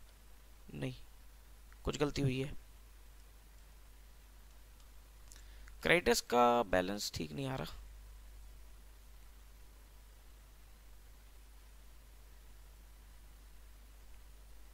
ओहो। मैंने क्रेडिटर्स को गलत जगह लिख दिया ना।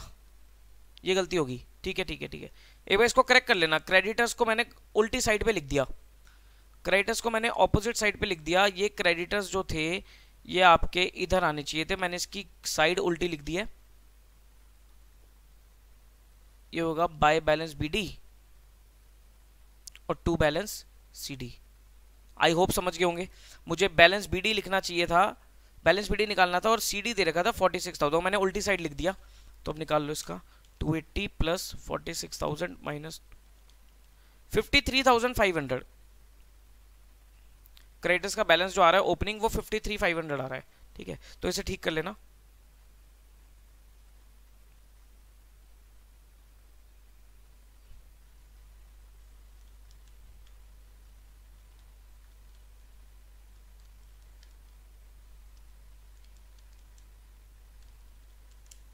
169 कैपिटल आ रही है आपकी one lakh sixty nine thousand ठीक है?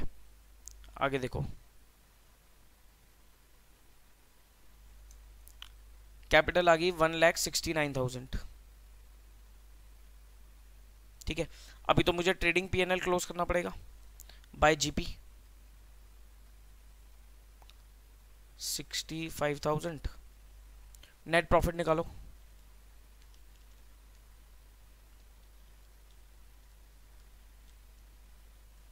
Fourteen thousand to net profit fourteen thousand ठीक। Plus NP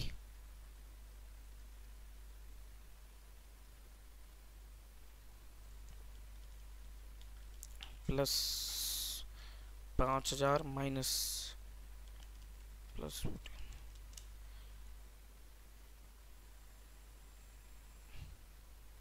one sixty three.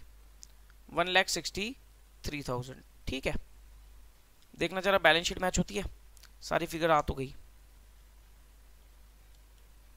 दो लाख नौ हज़ार, माइनस नौ हज़ार, minus eighty seven five hundred, minus sixty two five hundred. ठीक है जी, मैच होगी balance sheet. Balance sheet match. ठीक है जी। आया समझ में क्वेश्चन फुल फ्लैच क्वेश्चन इसी तरीके से सर आपके पास क्वेश्चन एग्ज़ाम में आएगा।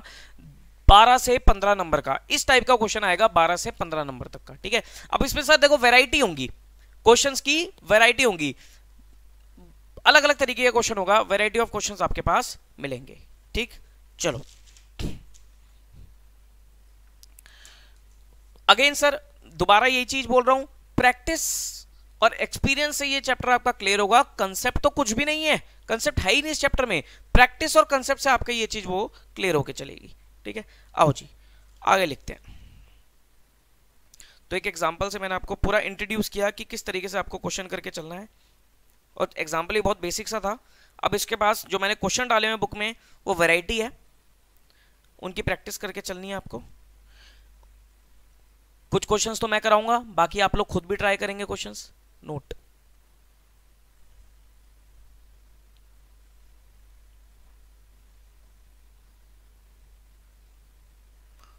how to prepare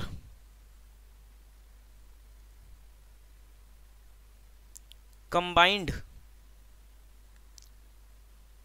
expense account if having outstanding and prepaid balance ठीक है वो कह रहा है कंबाइंड एक्सपेंस अकाउंट कैसे बनाओगे? जब आपके पास एक्सपेंस आउटस्टैंडिंग भी है प्रीपेड एक्सपेंस भी है तो आपको एक्सपेंस अकाउंट बनाना पड़ेगा। कैसे बनेगा?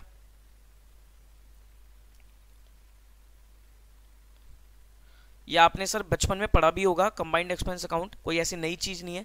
ये आपने पढ़ी होगी। इन द चैप्टर ऑफ़ वो चैप्टर होता था एनपीओ में। अगर आप मुझसे पढ़े हुए हो फाउंडेशन लेवल पे मुझसे पढ़ रखा है आपने तो सर आपको एनपीओ में मैंने ये चीज़ कराई होगी। जब मैं आपको सैलरी अकाउंट वगैरह बना के दिखाता था तो ये चीज़ कराई है। नहीं भी पढ़ा होगा तो सर ये देखा ही होगा आपने कहीं ना कहीं किसी बुक में। देखो, अगर मैं बात करूँ एक्सपेंस अकाउंट की, मुझे बताओ opening balance of outstanding outstanding expense क्या है? लाइबिलिटी है। और प्रीपेड एक्सपेंस है एसेट है। पहले लाइबिलिटी को पकड़ के चलते हैं आउटस्टैंडिंग को पकड़ के चलते हैं। तो sir opening balance of outstanding यानी कि लाइबिलिटी है। तो लाइबिलिटी का ओपनिंग बैलेंस कहाँ डालोगे? By balance BD this is what this is opening of outstanding opening outstanding और लाइबिलिटी का क्लोजिंग कहाँ डालोगे? To balance CD this is what this is closing outstanding ठीक। Prepaid expense prepaid expense asset होता है। Asset का opening कहाँ डालोगे? To balance BD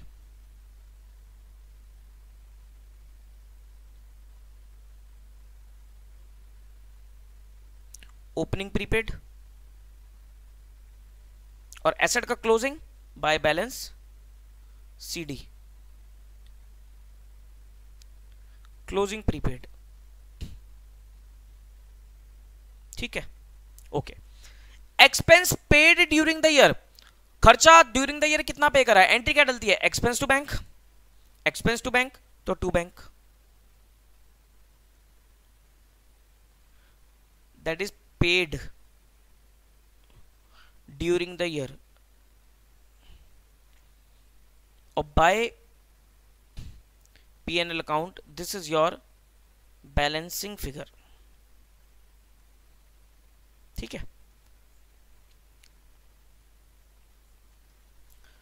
laser account बनाने सीख जाओगे इस चैप्टर में।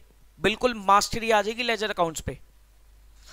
मैं कुछ कोर्सेज आज से काफ़ी टाइम पहले तो ये चैप्टर एंड में कराता था। मैं अपने कोर्स में ये चैप्टर एंड में कराता था, लेकिन अब मैंने थोड़ा सा पैटर्न चेंज किया। मैंने इस चैप्टर को स्टार्टिंग में करवाना शुरू करा। स्टार्टिंग में करवाने का मतलब यही होता है कि आपको लेजर अकाउंट पे मास्टरी आ जाए। नहीं तो मैं कुछ टाइम पहले दो तीन अटेम्प्ट पहले मैं ये चैप्टर एंड में कराता था, लेकिन देन आई रियलाइज़ कि ये चैप्टर अगर मैं पहले करा दूँगा तो आपको लेजर अकाउंट्स अच्छे से बनाने आ जाएँगे, क्योंकि बहुत सारे चैप्टर में आपको लेजर अकाउंट्स बनाने हैं। ठीक है?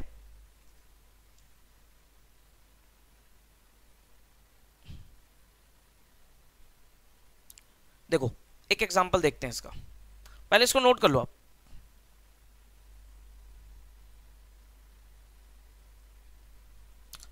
एग्जांपल भी नोट करा देता हूँ, इकट्ठे नोट कर लेना। एग्जांपल नोट करा देता हूँ, फिर इकट्ठे नोट कर लेना। एग्जांपल में आपको दे रखा है one four two thousand eighteen and thirty first March two thousand nineteen. Data में एक्सपेंस पेबल एक्सपेंस पेबल मतलब आउटस्टैंडिंग एक्सपेंस पचास हज़ार, साठ हज़ार prepaid expense ten eleven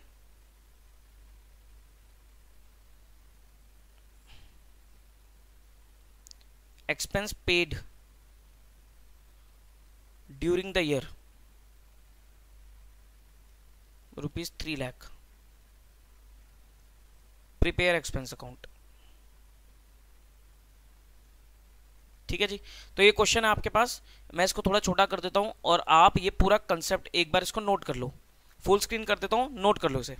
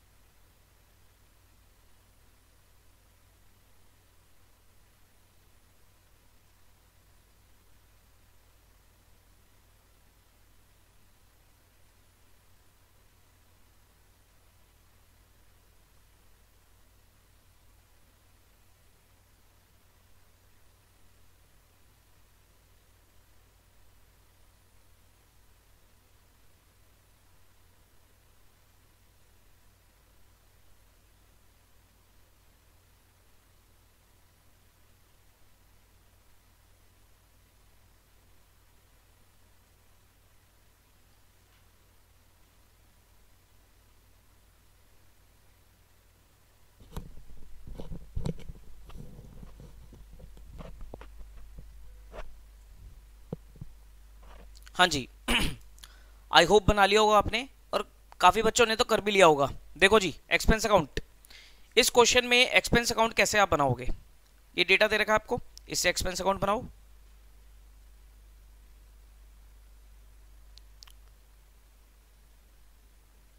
expense account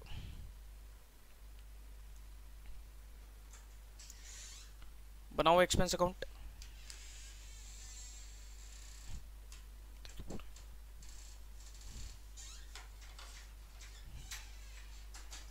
हाँ जी।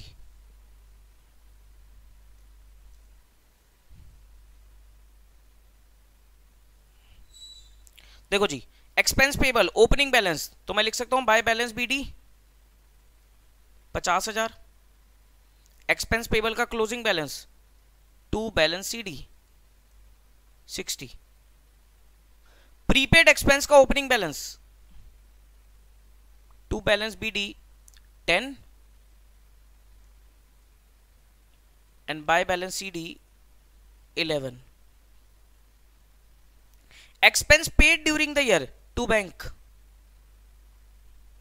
three lakh बस बैलेंसिंग फिगर कितनी आ जाएगी? कि सर, इस साल के खर्चे कितने हैं? इस साल के खर्चे कितने हैं? कितने आएँगे बताओ? तीन lakh plus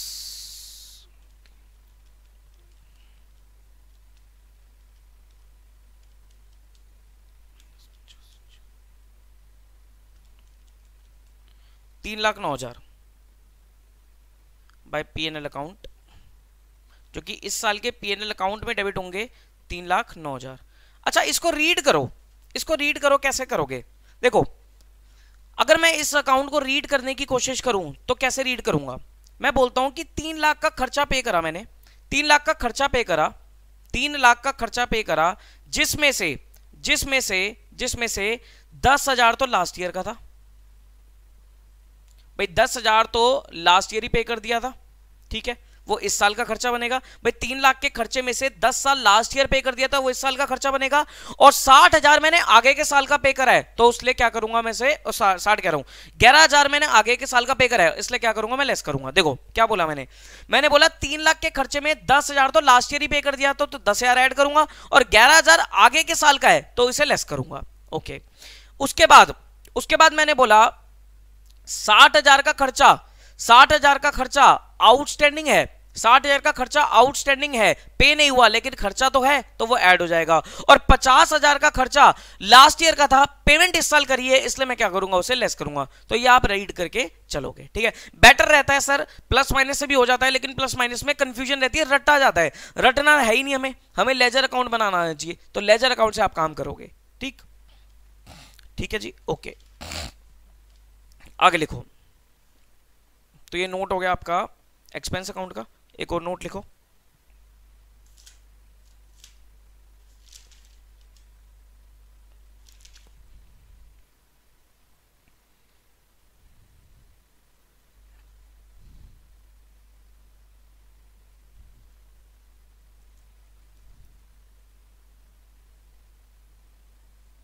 Note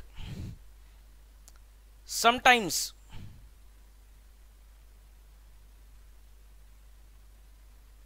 sometimes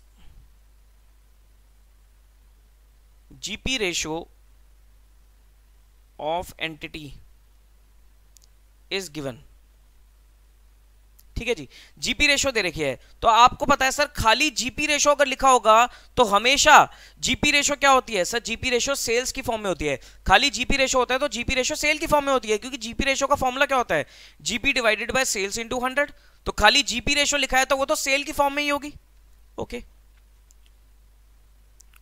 this ratio is used by, is used to calculate sales और सीओजीएस ठीक है जी? अब कैसे? वन फोर ऑफ़ सेल ये तो आपको पता है sir one four of sale is equal to one third of COGS one third of cost cost माने सीओजीएस और अगर मैंने बोला one by seven of cost इसका मतलब क्या होता है? One by eight of sales ठीक है जी? ये कैसे निकलता है? ये कैसे निकलता है? मान लो ये चीज़ बोल रहा हूँ मैं one by seven of cost is equal to one by sale of seven eight of sales देखो one by seven of cost का मतलब क्या हुआ? कि सर, अगर कॉस्ट ये तो पता है cost plus profit is equal to sale अगर कॉस्ट सात रुपए है तो प्रॉफिट कितना है? एक रुपए है. तो सेल कितनी होगी? आठ रुपए? अगर कॉस्ट सात रुपए है प्रॉफिट है एक रुपए, क्योंकि profit is one by seven of cost तो अगर कॉस्ट सात रुपए है प्रॉफिट हो गया एक रुपए सेल हो गया आठ रुपए, यानी कि अगर मैं प्रॉफिट को सेल की टर्म्स में एक्सप्रेस करूँ तो profit is one by eight of sales ठीक है जी? एक और, अगर मैं बोलता हूँ profit is three by thirteen of cost three by thirteen of cost तो सेल का कितना होगा? निकाल लो सर अगर से, इसको कैसे रीड करोगे? कि सर, अगर कॉस्ट तेरह रुपए है तो प्रॉफिट तीन रुपए है तो सेल कितनी होगी? सोलह रुपए। अगर प्रॉफिट अगर कॉस्ट तेरह रुपए है तो प्रॉफिट है तीन रुपए तो सेल कितनी होगी? सोलह रुपए। तो इसका मतलब अगर मैं प्रॉफिट को सेल की टर्म्स में एक्सप्रेस करना चाहूँ तो profit is three by sixteen what three by sixteen of sales तो कैसे लिखूँगा मैं से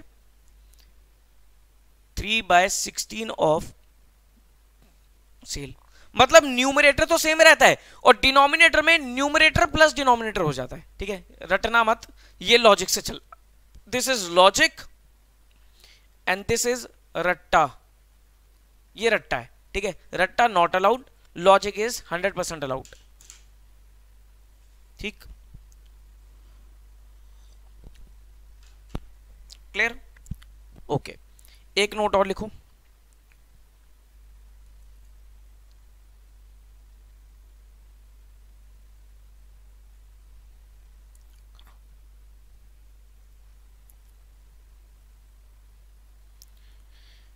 If there is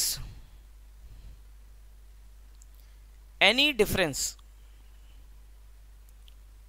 in cash account or bank account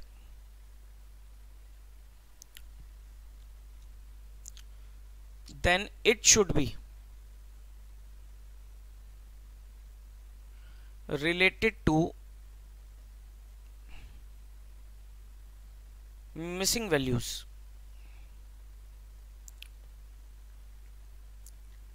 if cash or bank cannot be related assume capital introduced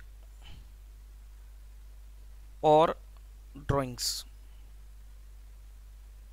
देखो जी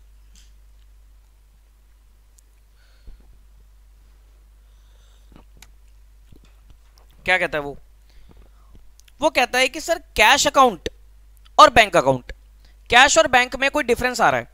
cash और bank account में कोई difference आ रहा है, ठीक है जी? तो डिफरेंस को सबसे पहले तो आप क्या ट्रैक करोगे? आप डिफरेंस को ट्रैक करोगे थ्रू द मिसिंग वैल्यू कि सर, कौन सी वैल्यू मिसिंग है? कई बार क्या होता है कैश और बैंक आपस में ही मिसिंग रहते हैं। कॉन्ट्रा एंट्री भी मिसिंग होती है तो कॉन्ट्रा एंट्री के थ्रू भी एडजस्टमेंट करके चल सकते हो, ठीक है? तो कैश और बैंक को मिसिंग वैल्यू से पहले रिलेट करके चलोगे, ठीक है? सर, अगर मिसिंग वैल्यूज़ नहीं मिल रही है कुछ भी नहीं मिल रहा है। तो हमेशा आप कैश और बैंक में क्या डालोगे? कैपिटल इंट्रोड्यूस्ड या कैपिटल विदड्रॉन ड्रॉइंग्स या कैपिटल इंट्रोड्यूस वो लास्ट तरीका है ड्रॉइंग्स और कैपिटल इंट्रोड्यूस ऐसे नहीं कि सर कैश बैंक में डिफरेंस आ गया तो ड्रॉइंग्स और कैपिटल डाल दी, नहीं। पहले तो आप ढूंढोगे कि कहीं कोई मिसिंग वैल्यू तो नहीं आ रही। कहीं कोई आपस में रिलेशन तो नहीं है। अगर वो है तो उस हिसाब से काम करोगे। नहीं तो आप ड्रॉइंग्स और कैपिटल इंट्रोड्यूस की एजम्पन लेकर चल सकते हो, लेकिन वो लास्ट में। ठीक है जी? तो ये सब चीज़ें आपको करके चलनी होती है। ठीक? चलो।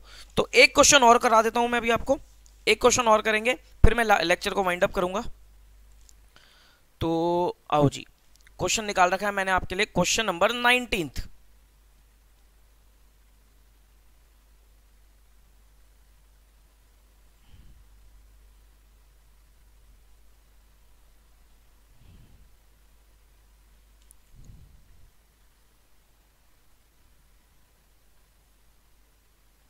ओके लो भाई क्वेश्चन नंबर नाइनटीन करा रहा हूँ मैं आपको।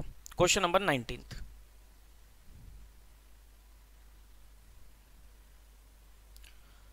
क्या कहता है वो? पढ़े।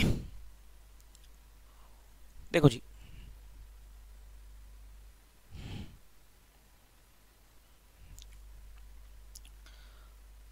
Ram carried on business as retail merchant he has not maintained regular account books However, he always maintained ten thousand in cash and deposit the balance into bank account ठीक है सर एक ये इंडिकेशन दे दी इसने यहाँ पर। क्या? इंडिकेशन ये दे दी कि उसके पास हमेशा कैश बैलेंस दस हज़ार रुपए रहेगा। दस से ऊपर का बैलेंस आ रहा है तो वो बैंक में जमा करा देगा। पॉइंट समझ में आता है?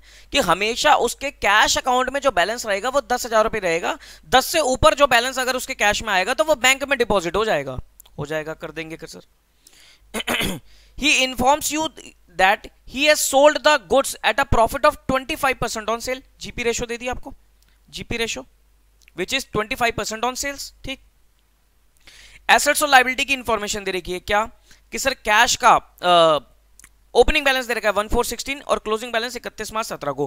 कैश का opening closing creditors opening closing bank का opening is credit balance bank का ओपनिंग इज़ क्रेडिट बैलेंस यानी कि बैंक का जो ओपनिंग है वो ओवरड्राफ्ट है और क्लोजिंग पॉजिटिव बैलेंस है डेबिट बैलेंस है। डेटर्स का opening closing stock in trade का ओपनिंग दे रखा है क्लोजिंग नहीं दे रखा। राम का कैपिटल अकाउंट दे दिया ओपनिंग दे दिया सर ठीक है सर देखते हैं। एनालिसिस ऑफ़ इस bank passbook reveals the following वो कह रहा है बैंक पासबुक से ये चीज़ हमें पता लगती है, क्या?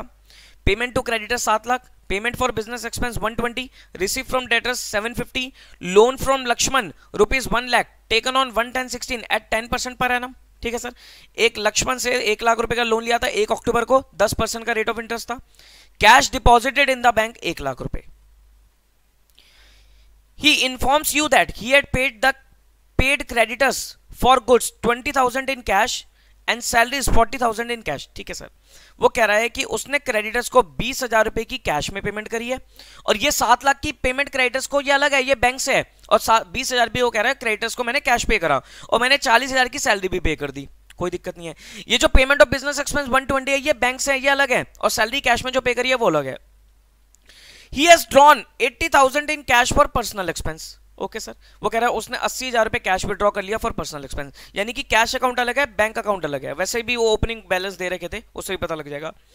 During the year Ram had not introduce any additional capital कोई एडिशनल कैपिटल नहीं लगाई.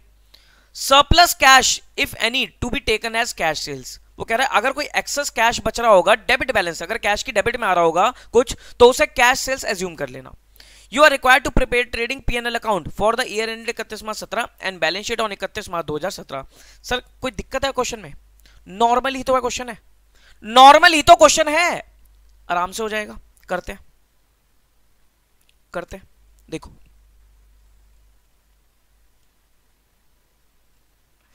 बस वो ना थोड़ा सा क्या होता है? माहौल क्या है? एक ना, देखो, पहले तो मन से ना डर निकाल दो। मन से डर निकाल दो। ये मत सोचो, सर, मैं इंटर लेवल पे हूँ तो मुश्किल है चीज़ें। मुश्किल कुछ नहीं है।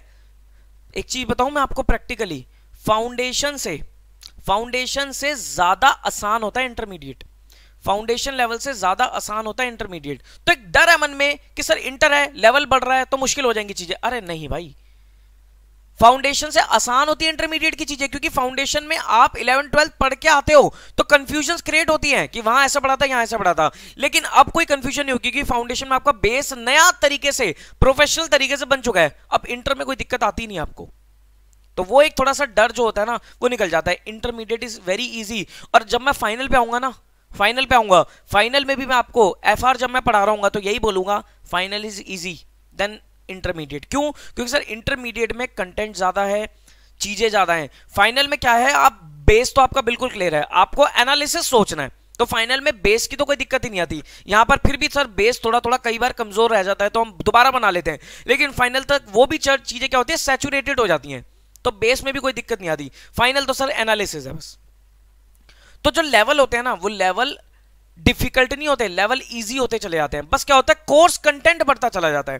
फाउंडेशन में कोर्स कंटेंट कम था लेवल से नॉर्मल था। इंटर में कोर्स कंटेंट थोड़ा बड़ा लेवल आसान हो गया। क्यों आसान हो गया? क्योंकि हम फाउंडेशन पढ़ के आ चुके हैं। फाइनल में कोर्स कंटेंट और बढ़ जाएगा, काफ़ी बढ़ जाएगा। सर एक एक सब्जेक्ट पूरे पूरे फाउंडेशन कोर्स के बराबर है। फाइनल में कोर्स कंटेंट बढ़ जाएगा, लेकिन sir understanding level is very easy तो यही चीज़, सर लेवल, जैसे जैसे आप ऊपर बढ़ते चले जाओगे, आपकी डिफिकल्टी लेवल खत्म होता चलेगा कोर्स कंटेंट बढ़ेगा। तो डर मत डरो मत। डर को तो निकाल दो अंदर से। डर के जियोगे तो हो गया काम। डरना नहीं है बिल्कुल भी। बिल्कुल डरना नहीं है। पॉजिटिव माइंडसेट से काम करोगे कि कॉन्फिडेंस रखो अपने ऊपर। हाँ मैं कर रहा हूँ, हो जाएगा। अभी क्या हो रहा है, सर? अभी तो आप फ़र्स्ट टाइम पढ़ रहे हो ना। एकदम से सोचोगे कि मेरे को आ जाएगा समझ में। वो तो आएगा नहीं, सर। धीरे धीरे धीरे धीरे तो कंसेप्ट बिल्ड होंगे ना। तो थोड़ा सा पेशेंस भी रखनी पड़ेगी हमें ठीक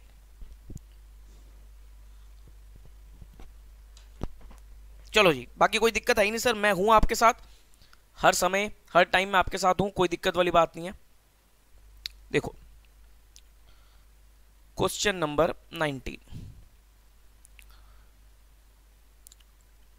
trading P&L account for the year ended क्या डेट थी? 31 मार्च 17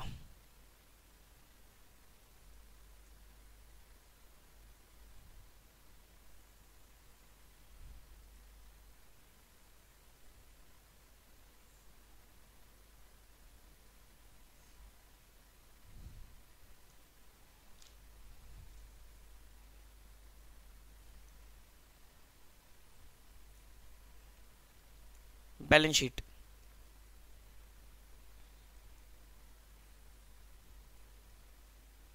एज ऑन 31 मार्च 17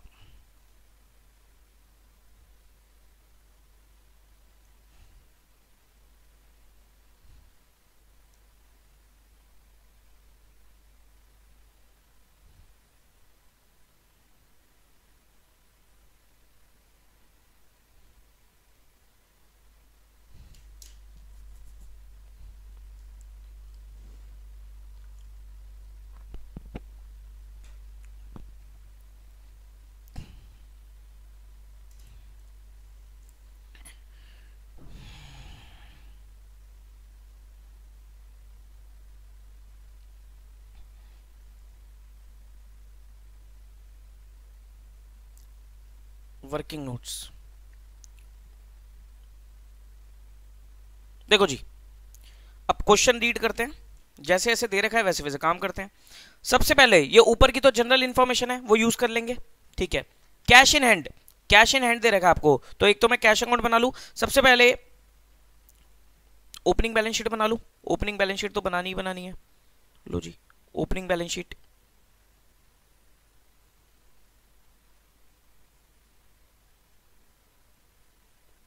ठीक है? उसके बाद कैश अकाउंट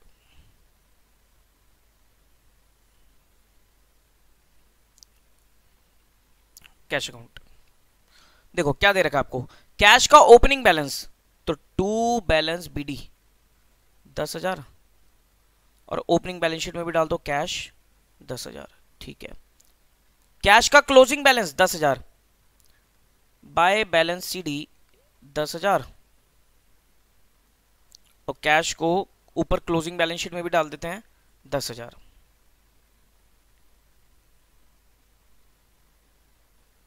ठीक? ओके इसका मतलब ये भी हो गया हमारा, ये भी हो गया। ठीक? Creditors forty thousand opening ninety thousand closing तो क्रेडिटर्स अकाउंट बना लो। Creditors account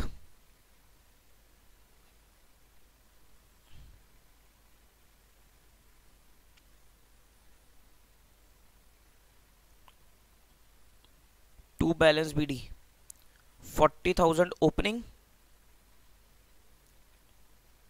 by balance C D ninety thousand closing ठीक है जी? क्रेडिटर्स को ओपनिंग बैलेंस शीट में डालो.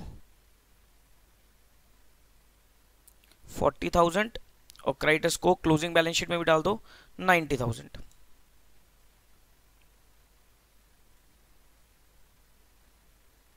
ठीक? ओके तो ये क्रेडिटर्स भी हो गए। बैंक बैंक का ओपनिंग बैलेंस 50 क्लोजिंग 80 ओपनिंग पर नेगेटिव है। तो bank account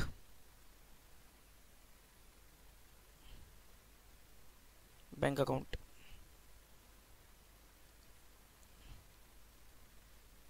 bank का ओपनिंग बैलेंस नेगेटिव कितना था? 50 और क्लोजिंग पॉजिटिव है। समझ गए मैंने सही लिखा ना पोस्टिंग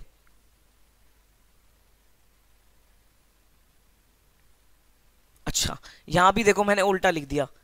लास्ट जो क्वेश्चन में मैंने मिस्टेक करी थी, वो यहाँ पर भी कर दी। वो थोड़ा सा ना क्या होता है कि क्रेडिट बैलेंस कम होते हैं तो क्रेडिट बैलेंस की आदत कम रहती है। तो ये देखो, समझ गए ना मैंने उल्टी लिख दी थी ये चीज़। By balance B D to balance C D कितना था क्रेडिटर्स का? Creditors forty ninety forty ninety लेकिन बैंक अकाउंट में ठीक लिखा है। बैंक में कोई दिक्कत नहीं है। बैंक में ठीक है। ओपनिंग नेगेटिव था, क्रेडिट बैलेंस और क्लोजिंग आपका डेबिट बैलेंस है, अस्सी। ठीक है? तो ये सही लिखा मैंने बैंक में। बैंक को डालो।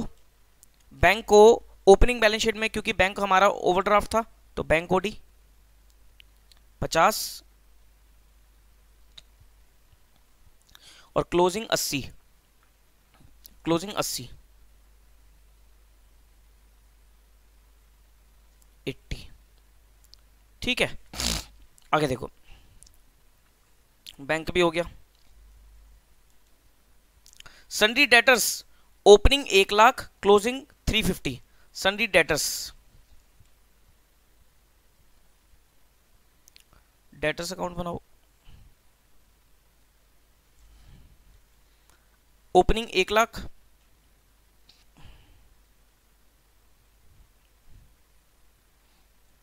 और क्लोजिंग 350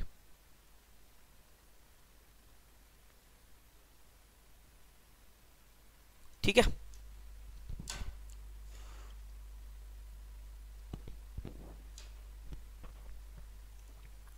देखो ओपनिंग को ओपनिंग बैलेंस शीट में डालो, एक लाख और साढ़े तीन लाख। ओपनिंग बैलेंस शीट में डालो, डेटर्स एक लाख। और क्लोजिंग बैलेंस शीट में डेटर्स डालो, साढ़े तीन लाख।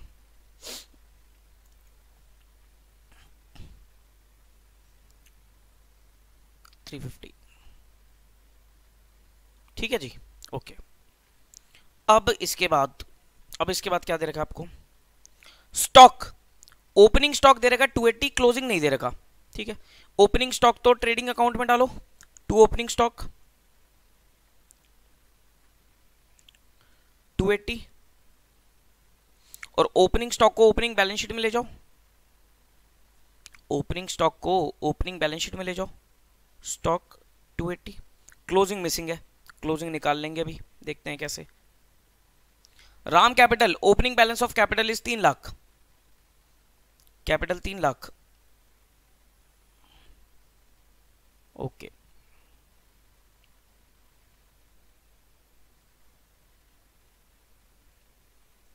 ठीक है जी। कैपिटल तीन लाख तो कैपिटल का तीन लाख ओपनिंग इधर आ गया, और ओपनिंग आप कैपिटल को यहाँ भी लिखोगे। कैपिटल तीन लाख। ठीक है। ये भी काम पूरा हो गया मेरा।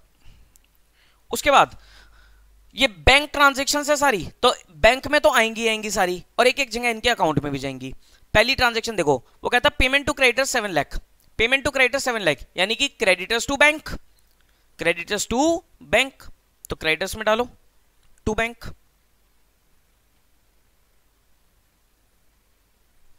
सेवन लैख और बैंक में डालो by creditors seven lakh okay इसके बाद पेमेंट फॉर बिज़नेस एक्सपेंस क्या कोई एक्सपेंस आउटस्टैंडिंग वगैरह है? सर, नहीं है। तो सीधा डाल दो payment for business expense expense to bank तो बैंक में डालो बाय एक्सपेंस 120 और एक्सपेंस पीएनएल में भी डालो।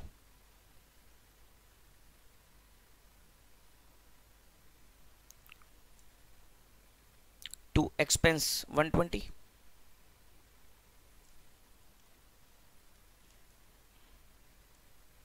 ठीक? Okay receipt from debtors debtors to bank debtor से पैसा आया. सॉरी उल्टा. डेटर से पैसा आया तो bank to debtors bank to debtors bank to debtors तो लिखो. टू डेटर्स कितना पैसा आया डेटर से? 750 और डेटर्स अकाउंट में डालो.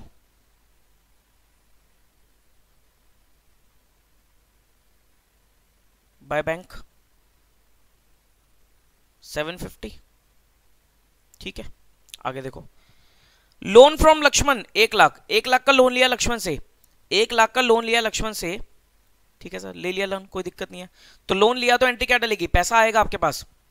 तो bank to loan from Lakshman to loan एक लाख का लोन लिया आपने। ओके ठीक है? लोन किसमें जाएगा? लोन क्लोजिंग बैलेंस शीट में जाएगा। लोन क्लोजिंग बैलेंस शीट में जाएगा? लोन फ्रॉम लक्ष्मण एक लाख? ओके अब देखो, ये लोन कब लिया है? एक अक्टूबर 2016 को 10 परसेंट का रेट ऑफ़ इंटरेस्ट है। तो यानी कि अक्टूबर से मार्च तक का इंटरेस्ट भी लगेगा? अक्टूबर से मार्च तक का इंटरेस्ट बताओ। एक लाख का 10 परसेंट छह महीने का। पाँच हज़ार रुपए का इंटरेस्ट है। मुझे बताओ, क्या ये इंटरेस्ट पे हुआ? क्या ये इंटरेस्ट पे हुआ? सर अगर पे होता तो या तो बैंक पासबुक में गिवन होता या कैश में गिवन होता? कहीं गिवन नहीं है। तो इसका मतलब इंटरेस्ट पे हुआ ही नहीं है। Interest is outstanding interest is outstanding तो एंट्री डाल दो इंटरेस्ट आउटस्टैंडिंग की, बस। क्या करोगे? To interest on loan interest on loan कितना था? पाँच हज़ार। और आउटस्टैंडिंग इंटरेस्ट के नाम से ये बैलेंस शीट में भी शो हो जाएगा। आउटस्टैंडिंग इंटरेस्ट ऑन लोन पाँच हज़ार। ठीक है जी? लोन की एडजस्टमेंट क्लियर है सबको? ठीक। Cash deposited in the bank वो कह रहे बैंक में पैसा जमा कराया। बैंक में पैसा जमा कराया एक लाख रुपए। बताओ भाई cash deposited in the bank क्या एंट्री डलती है कैश डिपॉजिट कराने की? Bank to cash bank account debit to cash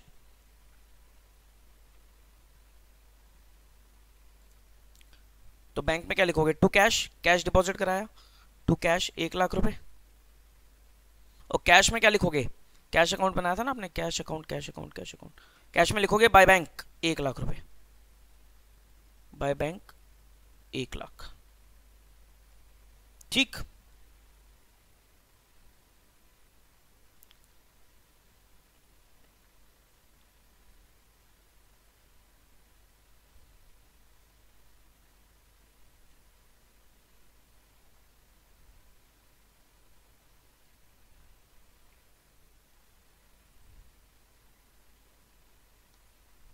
देखो जी। अब वो क्या कहता है? वो कहता है he informs you that he had paid to creditors twenty thousand in cash creditors को बीस हज़ार रुपए का कैश पेमेंट कर दी। क्राइटर्स को पेमेंट कर दी बाय क्रेडिटर्स बीस हज़ार रुपए की कैश में। ठीक है सर? क्रेडिटर्स को बीस हज़ार रुपए का कैश पे करा। तो क्रेडिटर्स अकाउंट में डालो। क्रेडिटर्स अकाउंट में डालो टू कैश टू कैश बीस हज़ार रुपए। ओके और क्या कह रहा है वो? ये भी हो गया। सैलरी पे करी चालीस हज़ार इन कैश सैलरी पे करी चालीस हज़ार in cash by salaries forty thousand. और सैलरी का एक्सपेंस पीएनएल में डालो. To salaries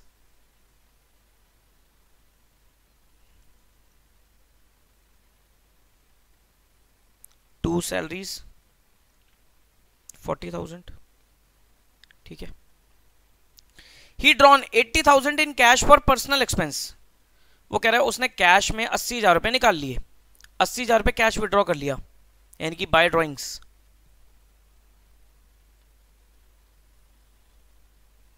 कितना? अस्सी हज़ार रुपए विड्रॉ कर लिया।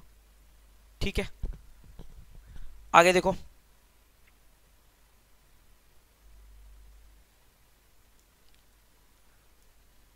आगे देखो, और कुछ है? नहीं सर अस्सी हज़ार कैश में विड्रॉ कर लिया। वो कह रहा है एडिशनल कैपिटल कुछ नहीं लगाई। Surplus cash if any is to be taken as cash sales ठीक है सर ये हमारा मैंने पूरा क्वेश्चन यहाँ पर आपके सामने रख दिया। ये मैंने पूरा क्वेश्चन आपके सामने रख दिया। अब काम करते हैं। अब एक एक करके लेजर अकाउंट को क्लोज करते हैं। सबसे पहले ओपनिंग बैलेंस शीट लास्ट में करेंगे। पहले कैश अकाउंट देखो सर कैश अकाउंट से पहले बेटर रहता है सर बैंक अकाउंट क्लोज करो। क्योंकि वो कह रहा है कैश में तो फिगर आपको कैश सेल्स डालनी है। लेकिन सर बैंक भी बैलेंस हो रहा है या नहीं हो रहा? देख लो, क्योंकि बैंक की जो फिगर आएगी, वो आप ना तो एडिशनल कैपिटल डाल सकते, ना ड्राइंग डाल सकते, क्योंकि ड्राइंग उसने कैश में करी है एडिशनल कैपिटल के लिए मना कर रहा है। तो मिसिंग वैल्यू क्या रहेगी? मिसिंग वैल्यू यही रहेगी कि बैंक में अगर कोई डिफरेंस है तो वो कैश के थ्रू कॉन्ट्रा होगा। समझ रहे हो मेरी बात? मैंने बोला कि भाई कैश में तो उसने बोल दिया मिसिंग फिगर आपकी कैश सेल्स होनी चाहिए। ठीक है। बैंक में कुछ नहीं कह रहा। मैंने बताया था सर, जब कुछ नहीं कहेगा तो बैंक की बैलेंसिंग फिगर या कैश की बैलेंसिंग फिगर आप क्या लोगे? एडिशनल कैपिटल या फिर capital withdrawn sir additional capital के लिए मना कर दिया कि उसने कोई कैपिटल इंट्रोड्यूस नहीं करी। ड्रॉइंग्स उसने कैश में करी हैं। तो यानी कि बैंक की जो बैलेंसिंग फिगर रहेगी, वो तो कॉन्ट्रा ही रहेगी ना? वो तो कैश के थ्रू ही होगी। आओ देख लेते हैं। कितना होगा? पहले तो देख लो डिफरेंस आ रहा है कुछ? डिफरेंस यार, आपका पचास हज़ार प्लस सात lakh. Plus one twenty plus अस्सी हज़ार माइनस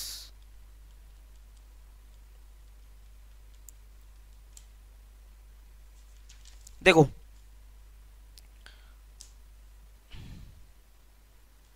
पचास, सात लाख और एक बीस। प्लस एक बीस प्लस अस्सी हज़ार। Nine fifty minus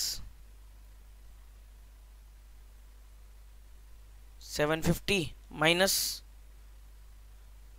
एक लाख का लोन माइनस एक लाख का कैश ठीक है? कोई फिगर ही नहीं आ रही। यानी कि बैंक मैच है मेरा।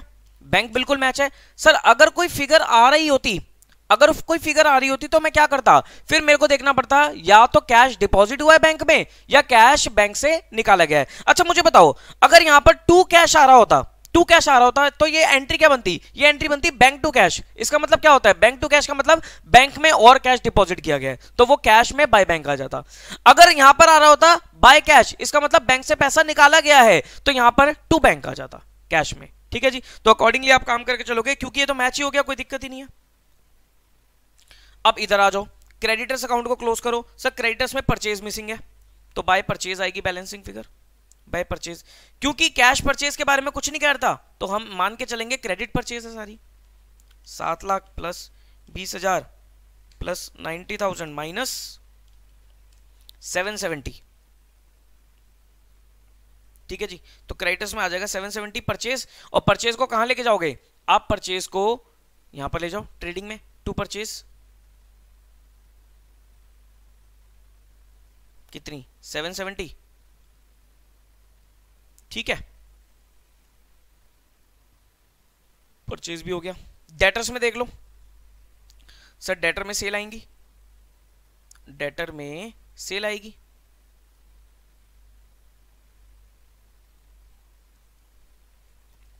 टू सेल्स कितनी आ रही है? 750 प्लस 350 माइनस एक लाख। दस लाख की सेल आ रही है। डेटर में सेल आ रही है दस लाख की। टू सेल्स लेकिन ये क्रेडिट है। लेकिन ये क्या है? क्रेडिट है। तो सेल्स में ले जाओ। ट्रेडिंग में ले जाओ। By sales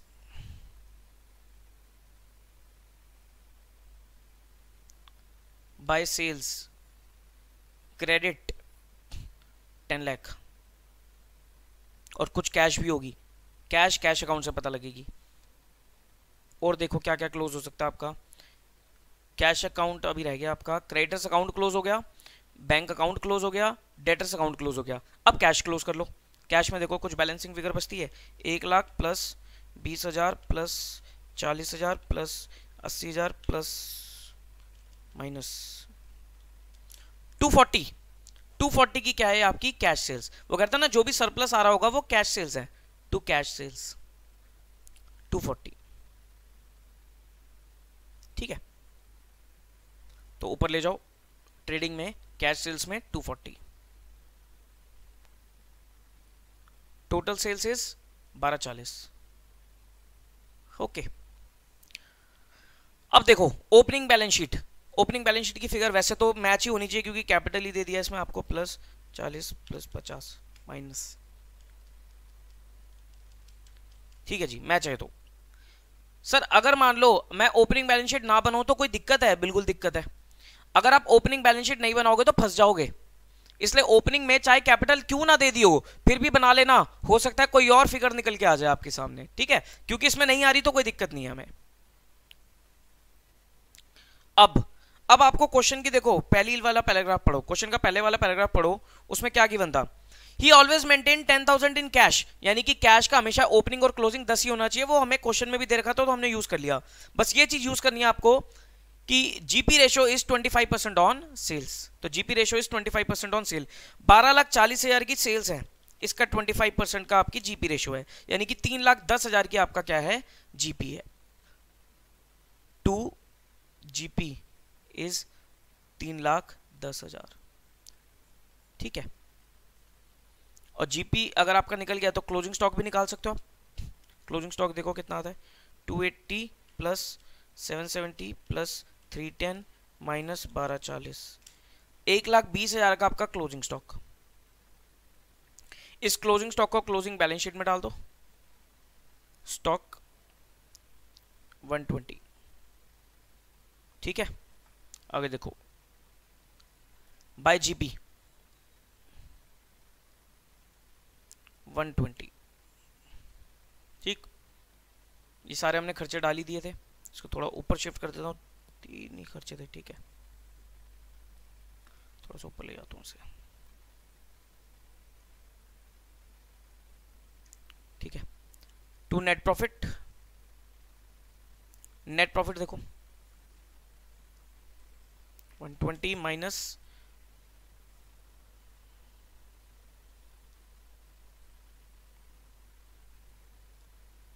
ओहो, ये गलत लिख दिया ना मैंने। तीन दस। तीन दस था ना तो तीन दस। हाँ तीन दस माइनस चालीस माइनस एक बीस माइनस पाँच। वन फोर्टी फाइव का net profit okay one forty five यहाँ ऐड कर दो। अच्छा ड्राइंग्स मैंने लेस नहीं करी। एक कैश में ड्राइंग्स करी थी, वो मैं लेस करनी भूल गया। ड्राइंग्स कितनी थी? अस्सी हज़ार। देखो, ऐसे भूलना मत आप। ये तो मैं बाई चांस भूल गया, लेकिन कोशिश करना ना भूलो। कोशिश करना, क्योंकि देखो डेटा ज़्यादा हो जाता है तो कई बार रह भी जाती है तो कोई दिक्कत नहीं है। वो क्वेश्चन घूमता रहेगा माइंड में तो अपने आप कर दोगे आप। 145 का नेट प्रॉफिट ऐड करो। कितना हो गया ये? तीन लाख प्लस 145 माइनस अस्सी हज़ार। थ्री सिक्सटी फाइव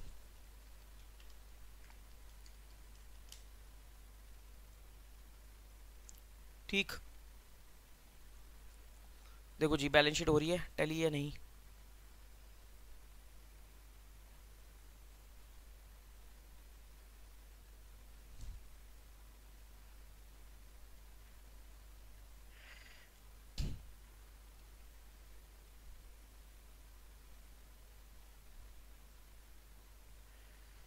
देखो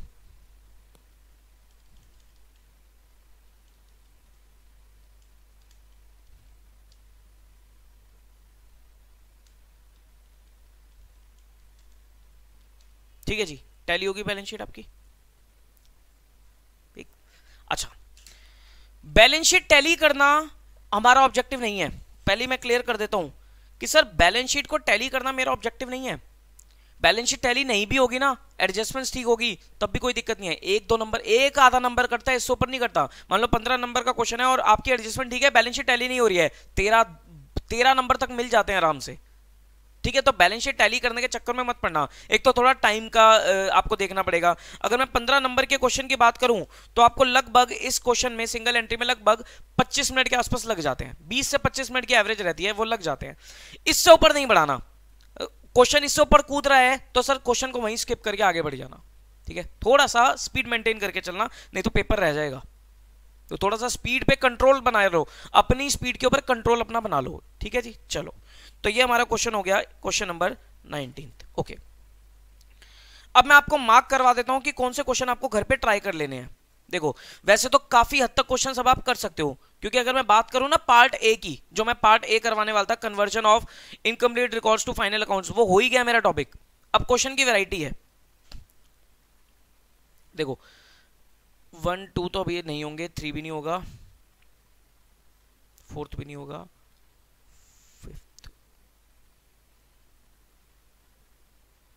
हाँ जी। क्वेश्चन नंबर फिफ्थ से शुरू हो जाना। देखो। क्वेश्चंस काफ़ी हैं। Question number fifth onwards fifth onwards fifth के बाद आप काफ़ी क्वेश्चंस कर सकते हो। कुछ क्वेश्चंस मैं कराऊँगा भी अगली क्लास में भी। एक दो कॉन्सेप्ट्स भी, आपको लैग रेशियोज वगैरह का कॉन्सेप्ट समझाऊँगा भी। लेकिन क्वेश्चन नंबर फिफ्थ के बाद आप काफ़ी क्वेश्चंस कर सकते हो। आराम से क्वेश्चन आपसे हो जाएँगे, कर सकते हो। कुछ क्वेश्चन में अटकोगे, कोई दिक्कत वाली बात नहीं है। देखते हैं जितना मैक्सिमम हो सकेगा, मैं आपको करवाई दूँगा। ठीक? चलो भाई। तो ये वाला क्वेश्चन अगर आपको कॉपी करना है तो मैं फुल स्क्रीन कर देता हूँ, आप इसको कॉपी कर लीजिए।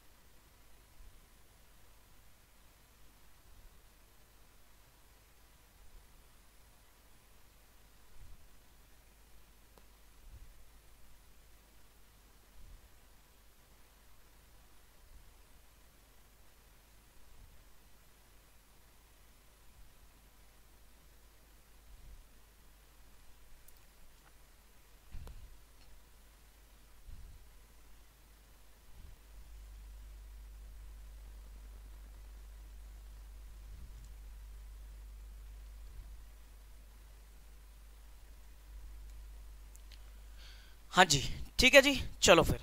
तो आज की क्लास के लिए इतना ही काफ़ी है। नेक्स्ट क्लास में आके मैं आपको अभी फ़र्स्ट वाला पार्टी हमारा नेक्स्ट क्लास में भी कंटिन्यू रहेगा। एक दो छोटे छोटे पॉइंट्स हैं, वो मैं आपको बताऊँगा about how to use lag ratios वगैरह। लैग रेशो कैसे यूज़ करनी है? और लैग रेशो का एक छोटा सा कंसेप्ट होता है, वो कंसेप्ट मैं आपको सिखाऊँगा लैग रेशो कैसे यूज़ करनी है। और और क्वेश्चंस की प्रैक्टिस करवाऊँगा। ठीक है जी? और क्वेश्चंस की प्रैक्टिस करेंगे। जितने ज़्यादा क्वेश्चन की प्रैक्टिस करेंगे, उतना हमारे लिए अच्छा रहेगा, उतना हमारा कंसेप्ट बिल्ड होगा, ठीक है जी? तो अगली क्लास में सेम पार्ट वन ही कंटिन्यू रहेगा lag ratios plus some more questions and third वाली क्लास में मैं आपको और क्वेश्चंस प्लस जो सेकंड पार्ट है सेकंड पार्ट को इंट्रोड्यूस कराऊँगा। सेकंड पार्ट में कुछ क्वेश्चंस वगैरह है, कुछ कॉन्सेप्ट है प्रॉफिट कैसे कैलकुलेट करा जाता है by preparing statement of affairs वो मैं आपको सिखाऊँगा, ठीक है जी? तो लगभग तीन या चार, तीन से चार लेक्चर लग जाते हैं इस चैप्टर में। ठीक है जी? चलो, करके जाना है अच्छे से। चलो फिर। हाँ जी। तो कंटिन्यू करेंगे अगली क्लास में प्रॉपर तरीके से। क्वेश्चंस की प्रैक्टिस करना क्वेश्चन एक बार ट्राई करके करके देखना, आपसे बड़ी आराम से क्वेश्चन हो जाएँगे। ठीक है जी? चलो फिर। मिलते हैं अगली क्लास में। Till then take care of yourself bye